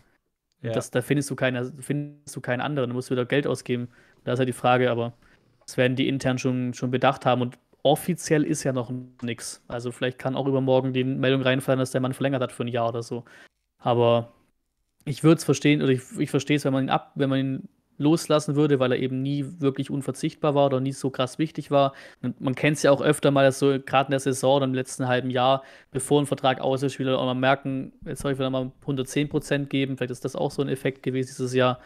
Also ist ja nur die Frage, wie du ihn ersetzt bekommst, was du da vorne vorhast. Und dann wird es halt auf jeden Fall zwangsweise einen Tacken teurer, als ihn einfach zu verlängern. Aber ich könnte es verstehen, wenn er geht. Ich meine, vier Tore hat er trotzdem als Sub sozusagen gemacht, ne? Das muss man, ja. muss man ja auch sagen. Tempo und Spielwitz, das ist so das, wo ich auch mal zu ihm gesagt habe. Ähm, ist, finde ich, ein Spieler, der sehr interessant sein kann für zum einen Hertha, Schalke. Ja. Und, Schalke ist ähm, seit Jahren dran. Ja, ja, seit ja aber Jahren. grundsätzlich ist er ein interessanter Spieler auch für Schalke. Gerade ablösefrei. Ablösefrei? Ne? Ja. ja. Ähm, ja. Und kann auch interessant bei uns werden, wenn, je nachdem, wie man nämlich da, wie gesagt, dieses neue Sturm-Du baut. Man hört ja, Jima hat man ja auch so als Tempospieler geholt. Kann sein, dass man da vielleicht als Ausweis so eine Flügelformation macht oder eben mit einem richtigen Mittelstürmer und daneben so einen schnellen, quirligen Part eventuell einbaut. Deswegen auch da sage ich, eigentlich ein sehr interessanter Mann, auch in Deutschland weiterhin. Also ich glaube, dass er auf jeden Fall einen Abnehmer haben wird. Wie gesagt, ich bin mir sicher, dass allein weil er ablösefrei ist, wird Werder, wird Hertha, wird Schalke, die werden den alle auf dem Zettel haben, eventuell Aufsteiger zumindest mal auf dem Zettel haben. Ob das jetzt so machbar ist, dann, das weiß man natürlich nicht, ne? Aber ähm, weil das ist, äh, wie du hast ja gerade schon gesagt, er ist halt jung noch. So, klar, er konnte, hat sich jetzt noch nie so bewiesen, dass du sagst, ey, den darfst du niemals abgeben und so weiter, ne? Aber er ist 22. So, wenn der seinen nächsten Step macht und dann auch diesen Spielwitz gezielter einsetzt, ähm, plus er hat ja eben gutes Tempo, vorm Tor vielleicht nochmal ein bisschen mehr äh, Gefahr ausstrahlt, dann kann das ein richtig, richtig interessanter Spieler noch werden auch. Ähm, ich erinnern wir uns mal, ist jetzt ein hoher Vergleich natürlich, ne? Aber überleg mal am Anfang auch, wo man Coman gesehen hat. Klar, viele Verletzungen und so weiter, aber der hat es oft auch in die Spieler so reingelaufen. Der hatte manchmal anfangs richtig so Probleme auch gehabt, wo du so dachtest, ja, Tempo, klar hatte der immer, der war ja gigantisch schnell, aber der ist oft dann immer so rein in die Spieler. Und irgendwann kommt das ja auch, dass du dann da einfach sicherer wirst. Dembele auch, über die Jahre immer sicherer geworden dann in, in dieser Ballführung. Und hier haben wir halt auch einen jungen Franzosen, äh, der grundsätzlich vieles mitbringt, aber halt noch mehr kommen muss. Aber ablösefrei hast du eigentlich wenig zu verlieren. Finde ich sehr interessanter Mann. Ja, das auf jeden Fall. Ja. Ähm, Felice, sag mal, wen, fandst, wen findest du so interessant bei, bei den Stuttgartern? Ach, ich finde sehr viele interessant, aber es ist außer Kulibali ja nichts wirklich realistisch oder vielleicht ein Luca Pfeiffer, aber im Moment mhm. sind wir im Sturm. Also du musst ja erstmal, erstmal müssen wir die Lizenz bekommen. Wenn wir die Lizenz haben, dann werden erst die ganzen Verhandlungen beginnen, weil die Vereine und Berater warten ja bei uns alle darauf, äh, weil wenn wir keine Lizenz bekommen, sind alle Spieler ablösefrei, wenn wir insolvent gehen. Ähm, und wenn wir die haben, dann äh, gucken wir mal, was im Sturm passiert. Stand jetzt, kann ich ja mal aufzählen. Mhm. Konga, Piontek kommt zurück, äh, Jessica Gangkam, äh, Scherhand, Niederlechner, dann aus, der, aus, aus dem Nachwuchs noch Rölke, der jetzt sein erstes Bundesligaspiel gemacht hat. Also wir haben Masa, der eigentlich eher Zehner spielen wird, aber auch Stürmer spielen kann. Wir haben so viele Stürmer. Kann aber am Ende sein, dass vielleicht so Luca Pfeiffer, der ja in der zweiten Liga sehr gut funktioniert hat bei Darmstadt, wenn du auf einmal alle möglichen Leute verkaufst, weil es Angebote gibt, äh, kann es sein, dass so einer nochmal interessant wird. Ich weiß jetzt nicht, wie viel Stuttgart dann haben wollen würde. Ich meine, der hat in keinem Bundesligaspiel äh, einen Scorerpunkt gesammelt. Ähm, aber der bringt eine Größe mit, äh, ist für die zweite Liga auch nicht uninteressant, einen so einen großen Stürmer zu haben, der Bälle festmachen kann. Äh, wenn er Stamm spielt in einer Liga, die er schon kennt, wo er schon gut getroffen hat, könnte das interessant sein, aber das ist noch so weit entfernt. Und Kulibali könnte interessant sein weil alles, was du gesagt hast, unterschreibe ich auch. Ja, war, hat sich jetzt nicht wirklich durchgesetzt, aber ist sehr jung, hat Entwicklungspotenzial und ich glaube, wenn der mal bei einer Mannschaft ist, wo er wirklich auch als Stammspieler vielleicht in eine Saison ja. geht, dann kann er sich entwickeln und deswegen wäre für ihn vielleicht, ablösefrei ist erstmal dann auch realistisch, hat wahrscheinlich ein relativ hohes Gehalt, aber würde er vielleicht dann auch mal einen Kompromiss eingehen. Aber wenn er einen Schritt zurück macht in die zweite Liga in Deutschland zu einem der Aufstiegsaspiranten und da Stammspieler wird, könnte das seine Karriere auf jeden Fall in Schwung bringen, weil er hat einfach zu wenig dauerhaft gespielt in den vier Jahren beim VfB dann. Ja. ja und die anderen Spieler sind alle leider nicht realistisch. Äh, für mich, Mavropanos wird auch öfter mal, glaube ich, mit Frankfurt in Verbindung gebracht ne, und mit etlichen anderen Clubs. Äh, ist halt ein Geld, sehr, sehr ne? interessanter Mann. Mhm. Anton hat ja auch, ist ja auch ein sehr, sehr guter äh, Spieler, vor allem jetzt, wo er nicht mehr Rechtsverteidiger in der Viererkette spielen muss äh, und er nicht mehr auf Toilette rennen muss während des Spiels. Ähm, Ito, wie du, wie, äh, wie du schon gesagt hast, auch interessant.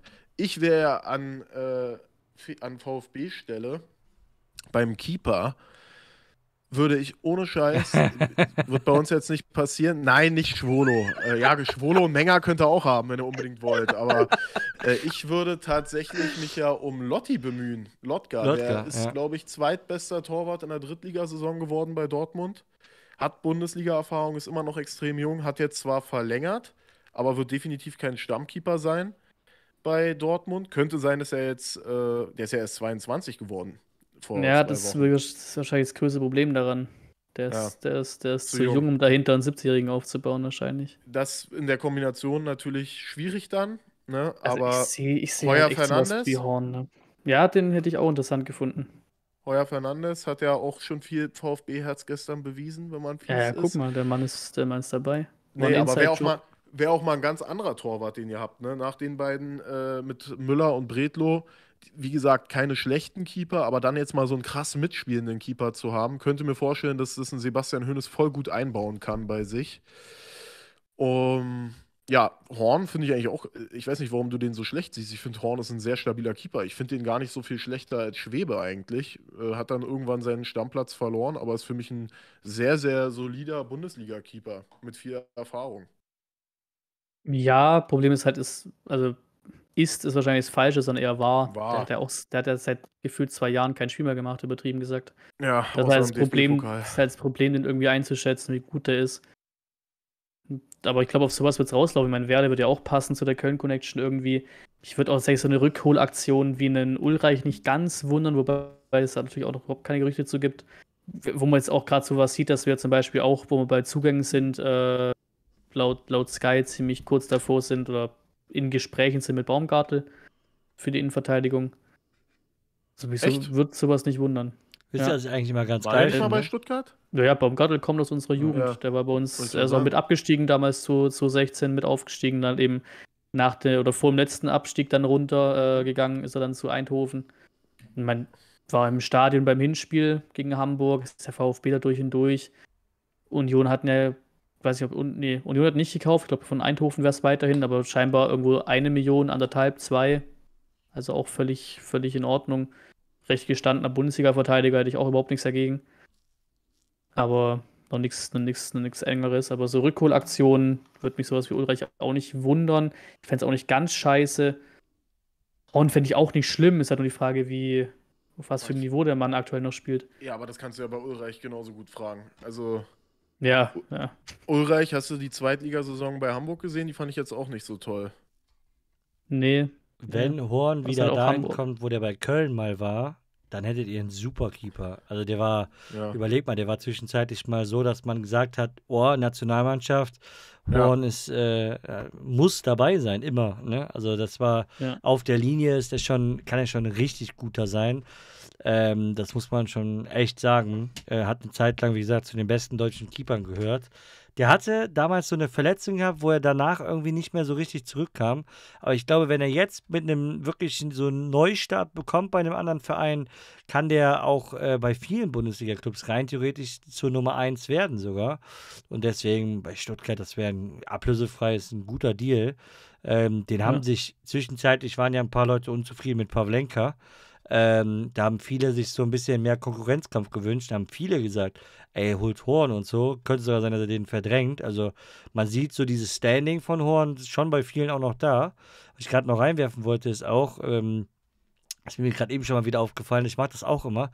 Man sagt immer so, wenn man über Spieler redet, ne? Äh, und dann reden wir über so bestimmte Namen, dann kommt immer direkt dieser Modus, auch wenn es dazu noch kein offizielles Gerücht gab. Aber lustigerweise sind meistens, wenn es offizielle Gerüchte gibt, ist es eher so, dass der Spieler nicht kommt, also dass das Ganze nicht passiert. Ja. Und zum Großteil eher Spieler kommen, die halt entweder gar nicht auf dem Radar waren oder über die man mal so gesprochen hat. Das ist so, Mhm. ist so ein äh, Allgemeinding. Ähm, ich kann das bei, bei mir vom Werder-Kanal nur wiedergeben. Amos Pieper damals, äh, habe ich in einem Transfer-Talk drüber gesprochen, war ja vorher in keiner Zeit. Also es sind einfach Spieler, die man interessant findet. Ne? Niklas Stark, haben wir ja sogar noch drüber gesprochen gehabt. Ja. Mitchell Weiser habe ich als Transfervorschlag gemacht, drei Monate bevor es überhaupt einen Hauch von einem Gerücht gab. Das sind alles Ja. so Sachen, die dann viel eher auch mal, weil man halt, man irgendwo als Fan weißt du ja, was kann denn der Verein oder was will denn der Verein auch so ein bisschen, ne? Und dann kann man ja so ein bisschen immer aussortieren. Und ich glaube, dass wenn man über bestimmte Namen spricht, auch sehr gut mal Namen dabei sein können, entweder die wirklich auf dem Zettel sind oder am Ende sogar kommen, ne? Das will ich mal Ja, aber ob es so gut ist, ist eine andere Frage. Ich habe die ganze Zeit Boetius im Sommer gesa gesagt. Ja, und dann ist ich weiß. zu uns Wir haben, doch, wir, haben doch, wir haben doch die ganze Zeit darüber gesprochen, darüber Boetius. Ja, Werder war ja so an dem den dran. nehmen. Der, der, der Berater hat ja damals, der war ja noch total cool, der hat ja ganz offen gesagt, äh, wo er gefragt worden ist, ja, ja, Werder ähm, hat offiziell auch da gesprochen und so. Und ich dachte so, ja, Ja. hau direkt raus, willst du Kontonummer noch verraten? Was ist los? Das ist ja geisteskrank, ey. Ja, aber, äh, wobei man hat ja, wir waren ja damals uns beide einig, ne? Eigentlich haben wir gedacht, wenn er nochmal richtig ins Spielen kommt, könnte der eigentlich auch ein guter sein. Aber ja, war ja nicht ganz so dann, ne? Könnte. Geht er die zweite ja, mit runter? Keine Ahnung. Ich glaube nicht, dass er viele Angebote hat nach der Saison, aber er hatte ja auch, muss man sagen, wirklich diese schlimme OP da, ne? Ja. Darf man auch nicht vergessen. Vielleicht kommt, bekommt ihm das Spiel in der zweiten Liga, wobei die ist ja noch körperlicher, aber mehr, wenn du mehr Ballbesitz hast, wenn du mehr das Spiel machen musst, als mehr dieses. Zeit am Ball. Nee, das, ja, das auch. Und vor allem, wir haben öfter den Ball. Und Mhm. nicht, äh, der macht, der ab und an sieht man ja, was er eigentlich kann, aber er ist einfach auch, eigentlich ist er auch für die zweite, er ist halt so verspielt. Aber vielleicht klappt das in der zweiten Liga. Also ich habe bei dem nie erkannt, dass er wirklich den Ernst der Lage gesehen hat. Also ist ein super Typ, glaube ich. Mega sympathisch, wirklich ein Sonnenschein. Aber der hat mich zur Weiß gut gebracht. Aber ich könnte mir vorstellen sogar, dass er bleibt, weil selbst wenn den jetzt einer kauft, wie viel kriegst du da und kriegst du dann für eine Million einen Ersatz Ja, ja, das ist halt der dann die- die 10. Frage, ne? Aber Boetius oder der wo er zweiten, spielen soll? kann ich mir sogar vorstellen. Bis wann muss das denn jetzt hier mit den Lizenzen mal durch sein? Also wann weiß man denn da mal was? Na, wir haben spätestens 21. Juni Zeit, äh, den Vorschlag der DFL nachzuweisen, dass die Anleihe nochmal zwei Jahre nach hinten verschoben wird. Wir müssen ja 40 Millionen bezahlen, Ja. eigentlich im November. Haben wir natürlich nicht. Ähm, wenn die Anleger sagen, ja, verschieben wir nochmal um zwei Jahre, dann würden wir die Lizenz bekommen. Das würden wir am 21. Juni erfahren oder 19. Juni erfahren. Ob die Anleger das machen, wenn die Anleger es nicht machen, dann muss wahrscheinlich 777 einspringen, die ja eigentlich nochmal 100 Millionen rein äh, pumpen wollten, die aber eigentlich ja für andere Sachen gedacht waren und auch für andere Schulden. Ja, ist alles nicht so einfach, aber ich denke, wir werden die Lizenz bekommen. Ich glaube nicht, dass, also zur allergrößten Not sagt 777, ja, dann machen wir, ziehen wir das von den 100 Millionen ab. Da ist ja auch schon ein bisschen was geflossen, dann kriegt ihr halt nur noch 30 Millionen äh, im nächsten Jahr und nicht mehr äh, 70 oder so. Mhm. Eieiei, da bin ich mal gespannt. Ja, aber Ja. wird schon werden. Weil da kommt ja der Kader eigentlich erst richtig ins Rollen, ne? Also, so gesehen. Ja, und dann hast du eigentlich nur noch äh, fünf Wochen Zeit, dann beginnt schon die Vorbereitung. Das ist so krass, ne? Wann ist Das Zweitligastart? wird wild. Ende Juli, also in sieben Wochen. Alter, ist ja krass. Ja. Hä, und Also wenn die Lizenz erteilt wird am 21. Juni, dann hast Ja. du quasi noch fünf Wochen. Zum Das ist Start. schon haffig. Und äh, wann Ja. beginnt dann die Vorbereitung? Eine Woche danach oder was? Oder direkt dann wahrscheinlich Ja. die Ecke, ne? Ja, eine Woche nach, nach Lizenzvergabe ungefähr. Geisteskrank. Ja, das ist äh, vor allen Dingen dieses Jahr ist das ja ganz heftig, weil, weil die Saison ja so lange auch noch ging. Ich habe Ja. eh auch gesagt, viele haben gesagt, boah, scheiß Sommerpause und so, bin ich auch voll dabei. Aber die ist diese Saison verhältnismäßig irgendwie kurz, wenn man überlegt, Juni wird der Kader eigentlich immer geschmiedet. Hm. Da kommen die meisten Transfersachen und wo du dich ja sowieso mit beschäftigst, gerade auch als Fan, ne, passiert da ja meistens viel im Juni. Die Grundsteine werden gelegt. Juli ist schon Sommerlager, so bei fast allen Vereinen dann. Ähm, und Testspiele. Also im Juli hast du schon wieder Testspiele, hast schon wieder Spielbetrieb. Ähm, und da werden die Weichen schon gestellt. Und ich glaube, Ende Juli, Anfang August, da geht es ja schon los mit äh, DFB-Pokal. Ich glaube, direkt Anfang Ja. August oder so, ne? Ja. Das ist schon krass. Ja. Also so. so Bundesliga das heißt, beginnt am lang ist dieses 18. Moment. August. Das heißt, Ja. unsere Tipps beginnen schon wieder in der letzten Juliwoche, weil wir jetzt auch die zweite Liga mittippen. Richtig. Die Das ist äh, Qualitätstipps. ihr, korrekt. müsst nur noch, ihr müsst nur noch sieben Wochen warten, dann gibt es Ja. wieder Qualitätstipps. Ja, da hast du auch gerade wenn direkt bei. Elversberg gegen Schalke 3-3 spielt. Oh, geil. Ja, das, äh, das werden auch Begegnungen werden, ne? Aber Also ohne Witz, also als Elversberg-Fan, ich würde diese Liga komplett zelebrieren, würde überall hinfahren, ne?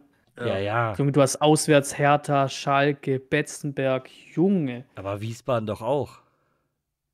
Ja, aber die waren, die waren ja wenigstens schon mal oben irgendwann mal. Ja, ja, irgendwann Wiesbaden ist mal, gar nicht ja. so lang her. Also Elversberg ist ja komplett. Aber so, ich Komplett hätte, hätte jetzt so Wiesbaden gar keinen Bezug zu, sage ich so. Weißt du, also wenn jetzt, überleg mal, die haben jetzt die Relegation geschafft. Das ist auch schon, das ist schon krass, ey. Ich habe Bielefeld nur durch ne? unsere, unsere Saison im Kopf, Wiesbaden. Weil wir gegen die, die dieses eine Tim Walter Masterclass-Spiel hatten mit 35 Torschüssen und 1 zu 2 verloren. Tim. Das- Walter. Das das beginnen Tim Walter Tim Masterclass. Ja, und enden mit Tim Walter. Ja, Wie der mal. HSV. Ey, ist ein guter. Kappa. Ich mag den nicht. Die Saudis sind auch in Aubameyang rein, kam gerade eben rein.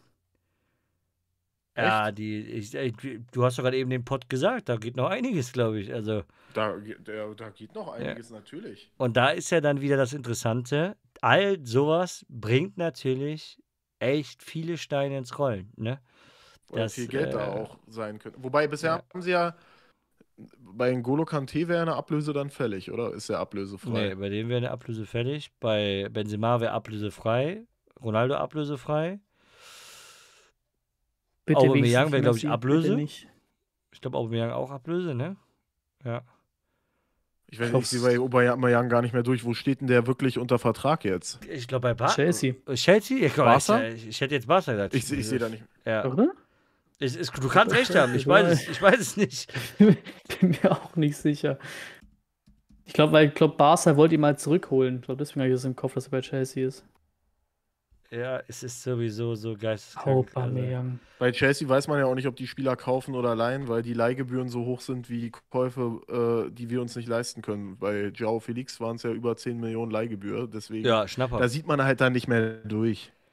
das Krasse war Also ja Auba, auch, Auba gehört Chelsea. Der ist Chelsea, okay. vor der Saison für 12 Millionen zu Chelsea. ja, einer von vielen da. Weißt du, was das Geile ist? 7 Millionen Marktwert, der Mann. Der, vor der Deswegen Saison, dachte ich, ne? das wäre eine Laie. Der ist vor der Saison, aber der hat irgendwie, der hat irgendwie eine Minute gemacht oder sowas. Oder irgendwo war der dabei bei Barca, weil der musste auf diesen T-Shirt und so weiter, ist der überall mit drauf, Aubameyang. Weil der irgendwie halt, ähm, ich weiß nicht, ob der da irgendeine Minute gemacht hat oder in irgendeinem Spiel oder so. Auf jeden Fall ist der deswegen, obwohl er kein Spiel in der Liga gemacht hat, ist er überall als Aufsteiger und es zählt auch als Geil. Titel. Also er hat den Titel trotzdem auch gewonnen. Ja, Das ist, äh, ja, der, also Das ist- im, im Wohnzimmer äh, in England hat er den Titel in Spanien gewonnen. Also, wer das kann, sind der die kann. Ron-Robert-Zieler-Weltmeisterschaften und sowas. Ja, genau. Richtig. es, Genau gibt, es gibt Dinge, die gibt's nicht. Was ich Und ich weiß, dass er im Winter zurück wollte nach Barcelona. Das weiß ich auch noch, weil dann Tuchel weg war. Ja, ja, ja. du- Da ist, ich sag ja, es gibt Dinge, die Unglaublich. gibt's nicht. Unglaublich. Was ich aber noch vorhin sagen wollte zu Stuttgart, was ich vergessen hatte, war noch, den finde ich auch richtig interessant. Bin ich sehr gespannt, wie der das bei euch weiterentwickelt, weil ich nicht davon ausgehe, dass ihr ihn abgeben werdet. Wenn doch, kannst du gerne Bescheid sagen. Meine nur, will nur mal reinschmeißen. Ähm, Enzo Milot, das ist ja. Das ist ja. Mio, äh, bitte. Mio, ich nenne ihn weiterhin Milot. Das erinnert mich immer an Milot Rashica, die verlorenen Summen. Ja. äh, guter Mann. Was sagst du zu dem eigentlich? Das wird ein bisschen das Masterclass gewesen damals. Genau das Paradebeispiel, wie er es hier machen wollte.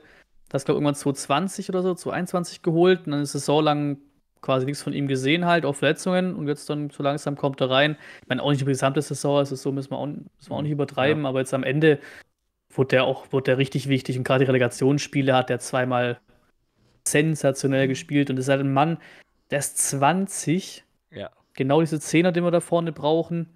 Oder Flügel, Zehner, wie auch immer. Und der hat halt eine, das ist halt das Krasse bei dem, die Technik. Der hat eine Ballbehandlung. Das ist einfach wirklich, also, wenn der so weitermacht, dann musste man wohl auch ein bisschen umkrempeln. Zumindest Labadia hat es gemeint im Winter, dass man den ein bisschen umkrempeln muss im Kopf, dass, dass er gerade nicht das ist, was man braucht im Abstiegskampf. Aber hat er wohl hinbekommen unter Hönes, falls es denn jemals so war und Labadia nicht einfach nur Quatsch erzählt hat. Aber der Mann, Toff, also das, das, natürlich, einerseits hoffst du, dass es besser wird noch, andererseits weißt du, wenn nächstes Jahr weiter, weiterhin so abliefert, ist der Sommer 2024 weg. Aber Ja, das ja. macht schon richtig Spaß, ihm zuzugucken, das ist schon einfach geil. Und den hast du auch damals von Monaco geholt für eine Million, irgendwie so aus dem Jugendbereich. Eine Mio. Aus der ersten Mannschaft. Mio. Eine Mio, genau. Eine Mio. Das ist Der, schon der, stark. der ist, äh, also ihn und diesen Führig von euch da fand ich in der Relegation schon extrem gut, muss ich sagen. Ähm, das ist eigentlich so eine Achse, über die müsst ihr nächste Saison so safe kommen. Das sind zwei Spieler, denen musst du alle Freiheiten geben hinter dem Stürmer. Egal, ob die über den Flügel kommen oder so als direkter Zehner äh, dahinter, sollen sie sich die Position teilen. Aber das, die haben in Kombination so gut harmoniert auch. Auch eben diese Technik, die du gerade schon gesagt hast, war auch so als Außenstehender echt äh, cool zu sehen, wie die auch das zusammen gemacht haben, ne? In dieser Konstellation. Ähm, das ist eigentlich eine Qualität, die wirklich äh, richtig, richtig gut ist und Bock auf mehr macht, ne? Ja, Fürich war ja auch schon gegen Mainz absoluter Matchwinner, ne? ja. Ja, aber halt auch irgendwie, ich sag mal, s- ab Mainz irgendwie. Führe ich es auch so, ein, so Ja. komplett inkonstant leider. Das, dieses Mainz-Spiel war fast ein kompletter Ausrutscher im positiven Sinne, dass er wirklich aus da reinkommt und drei Torvorlagen oder Tor und Tor, zwei Torvorlagen liefert. Aber dass die klappen können, ist halt beim meisten Spielen so, die können ja alle kicken. Sie müssen es halt nur abrufen, das haben sie ja im Hinspiel gemacht. Und das zweite Tor war es, glaube ich, das, wo sie da durchgespielt haben. Traumhafter Steckpass von Fürich und Mio liegt rüber auf Wagnermann das, das kann so gerne weitergehen und wird wahrscheinlich auch so weitergehen, weil Thomas verlängerst du ja nicht, der bleibt ja nicht. Tila ist gerade auch so ein bisschen außen vor, kam jetzt rein, auch schönes Tor gemacht, aber so ein bisschen außen vor gewesen. eher von der Bank kommend. Perea und so Geschichten eh eher von Sturm von der Bank. Also aktuell, außer tut sie noch irgendwas, sieht das auch so aus, als würde es da vorne so bleiben. Führig, Mio und Girassi. Mhm. Ich kann mich noch an letzte Saison erinnern, da hat doch Fürich diese eine Milliarden-Prozent Chance vergeben. Kannst du dich noch erinnern? Ich weiß nicht mehr, gegen wen das war. Aber da hat er so eine richtig geisteskranke Chance verballert. Und gegen Hertha, wo, wo, ihr da 2-0 verloren habt bei uns, da war der auch so ein Spieler, der viel gemacht hat, aber nichts äh, durchgezogen hat so richtig. Ja, äh, Ansätze halt da und dann mhm. rennst du wieder blindet irgendeinen Spieler rein. Das genau. bei Silas ja genau das Gleiche. Deswegen, das war, das, deswegen ab Mainz war, war stark und das Hinspiel vor allem. Also, da hast du auch gedacht, ah, warum bringst du nicht Tomasch von Beginn an für Fürich? Aber Fürich dann direkt vor Minute 1 gedacht, wow, okay, das ist heute sein Tag. Und er hat wirklich vor allem Hinspiel eine absolut geile Leistung gebracht. Muss es halt nur ein bisschen dauerhafter noch abrufen. Weil Potenzial schlummert in dem wie in den meisten, aber es fehlt halt die, die Konstanz, was ja wahrscheinlich mit dem Alter auch zusammenhängt halt. Aber ich bin gespannt mit Hönes als Trainer. Vielleicht wird es ja auch was Langfristiges. Und ich habe ja den VfB. Doch letztes Jahr auf Platz, also für diese Saison, die jetzt abgelaufen ist, auf Platz 9 gesehen oder 8 sogar, ich weiß es gar nicht mehr, äh, wo ich ja komplett daneben lag, aber vielleicht wird es ja dieses Jahr besser, wer weiß. Ich hatte uns, glaube ich, auch sogar irgendwie auf 12 oder 13 getippt vor der Saison und da wären wir auch genau gelandet, hätten wir halt Hoffenheim geschlagen. Da wären wir genau auf 12 oder 13 gelandet. Wäre es auch von, von Platzierung her eine, eine solide Saison gewesen. Durch diesen einen Sieg, was uns ja. so eng ist. Mit deiner Punkterechnung wird ja eigentlich Europa League. Ja, sowieso. Punkte gerettet.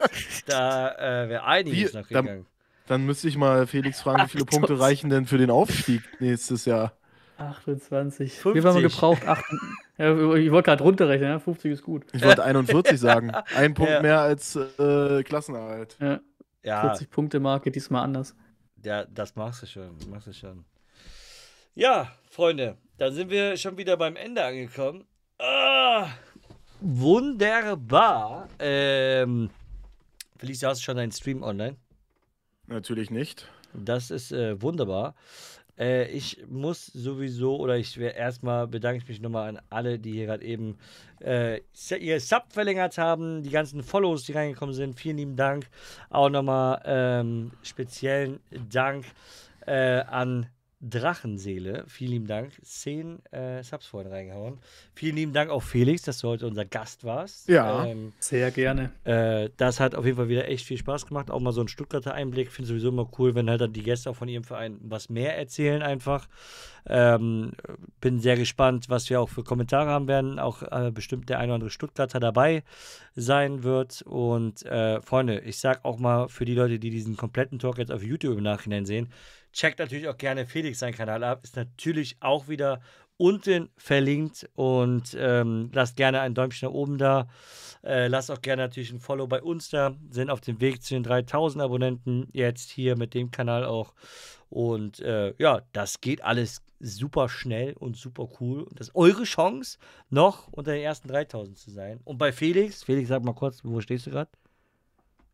Äh, 7600 grob. Ja, guck mal, ja. immer noch unter den ersten 10.000. Ja. Freunde, das ist eine Chance. Ja, guck mal. Das ist äh, eine Chance, die solltet ihr wahrnehmen. Die habt ihr nämlich verpasst schon äh, bei Felice und mir. Und bei Felix müsst ihr da nachziehen. Also, Werbung nochmal für Felix dick gemacht. Mua, Knutscher. Auf jeden Fall. Nico äh, will euch ja nur zu eurem Glück zwingen. Ja, richtig. Nichts Was anderes ist das. Ja, äh, wir haben doch nichts davon. Also, ist doch klar. Freunde, einfach mal machen. Einfach mal machen, ist doch klar. So, die letzten Worte gehören natürlich auf jeden Fall Felix und dann kann Felix noch was sagen, damit wir dann rüberschalten können. Ist der Stream denn ja. schon mal online, damit ich schon mal suchen kann? Jetzt ist er online, ja. Wunderbar. Felix. Jetzt ist er online.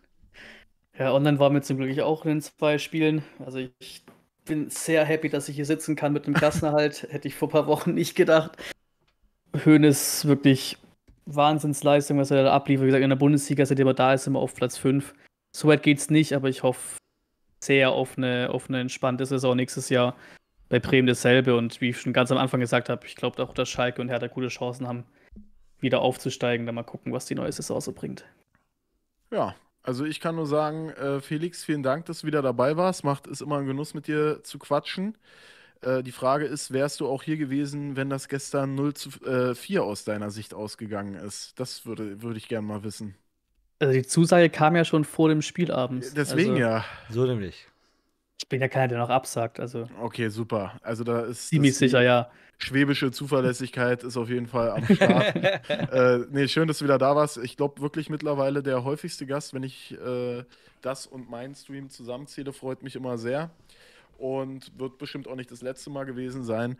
Vielen Dank, dass du auf jeden Fall wieder mit dabei warst. Sehr gerne. Und danke an alle, die hier zugeschaut haben, natürlich. Wir werden jetzt bei uns, da kann ich ja gleich noch Eigenwerbung betreiben, wir werden jetzt bei uns uns ein Interview aus dem Radio von Kai Bernstein reinziehen, unserem Präsidenten. Da spricht er auch noch mal ein bisschen über die Lizenz und so weiter, über die Ziele in der Zukunft. Ähm, ist, glaube ich, zwei Tage alt oder so. Geht 50 Minuten, das ziehen wir uns jetzt Late-Night-mäßig hier auf jeden Fall noch rein. Und damit raiden wir rüber. So. Super. So, wunderbar. Viel Spaß noch. Bruder. Und schönen Abend noch, Felix. Macht's gut, ihr Ciao, beiden. ciao. ciao. ciao.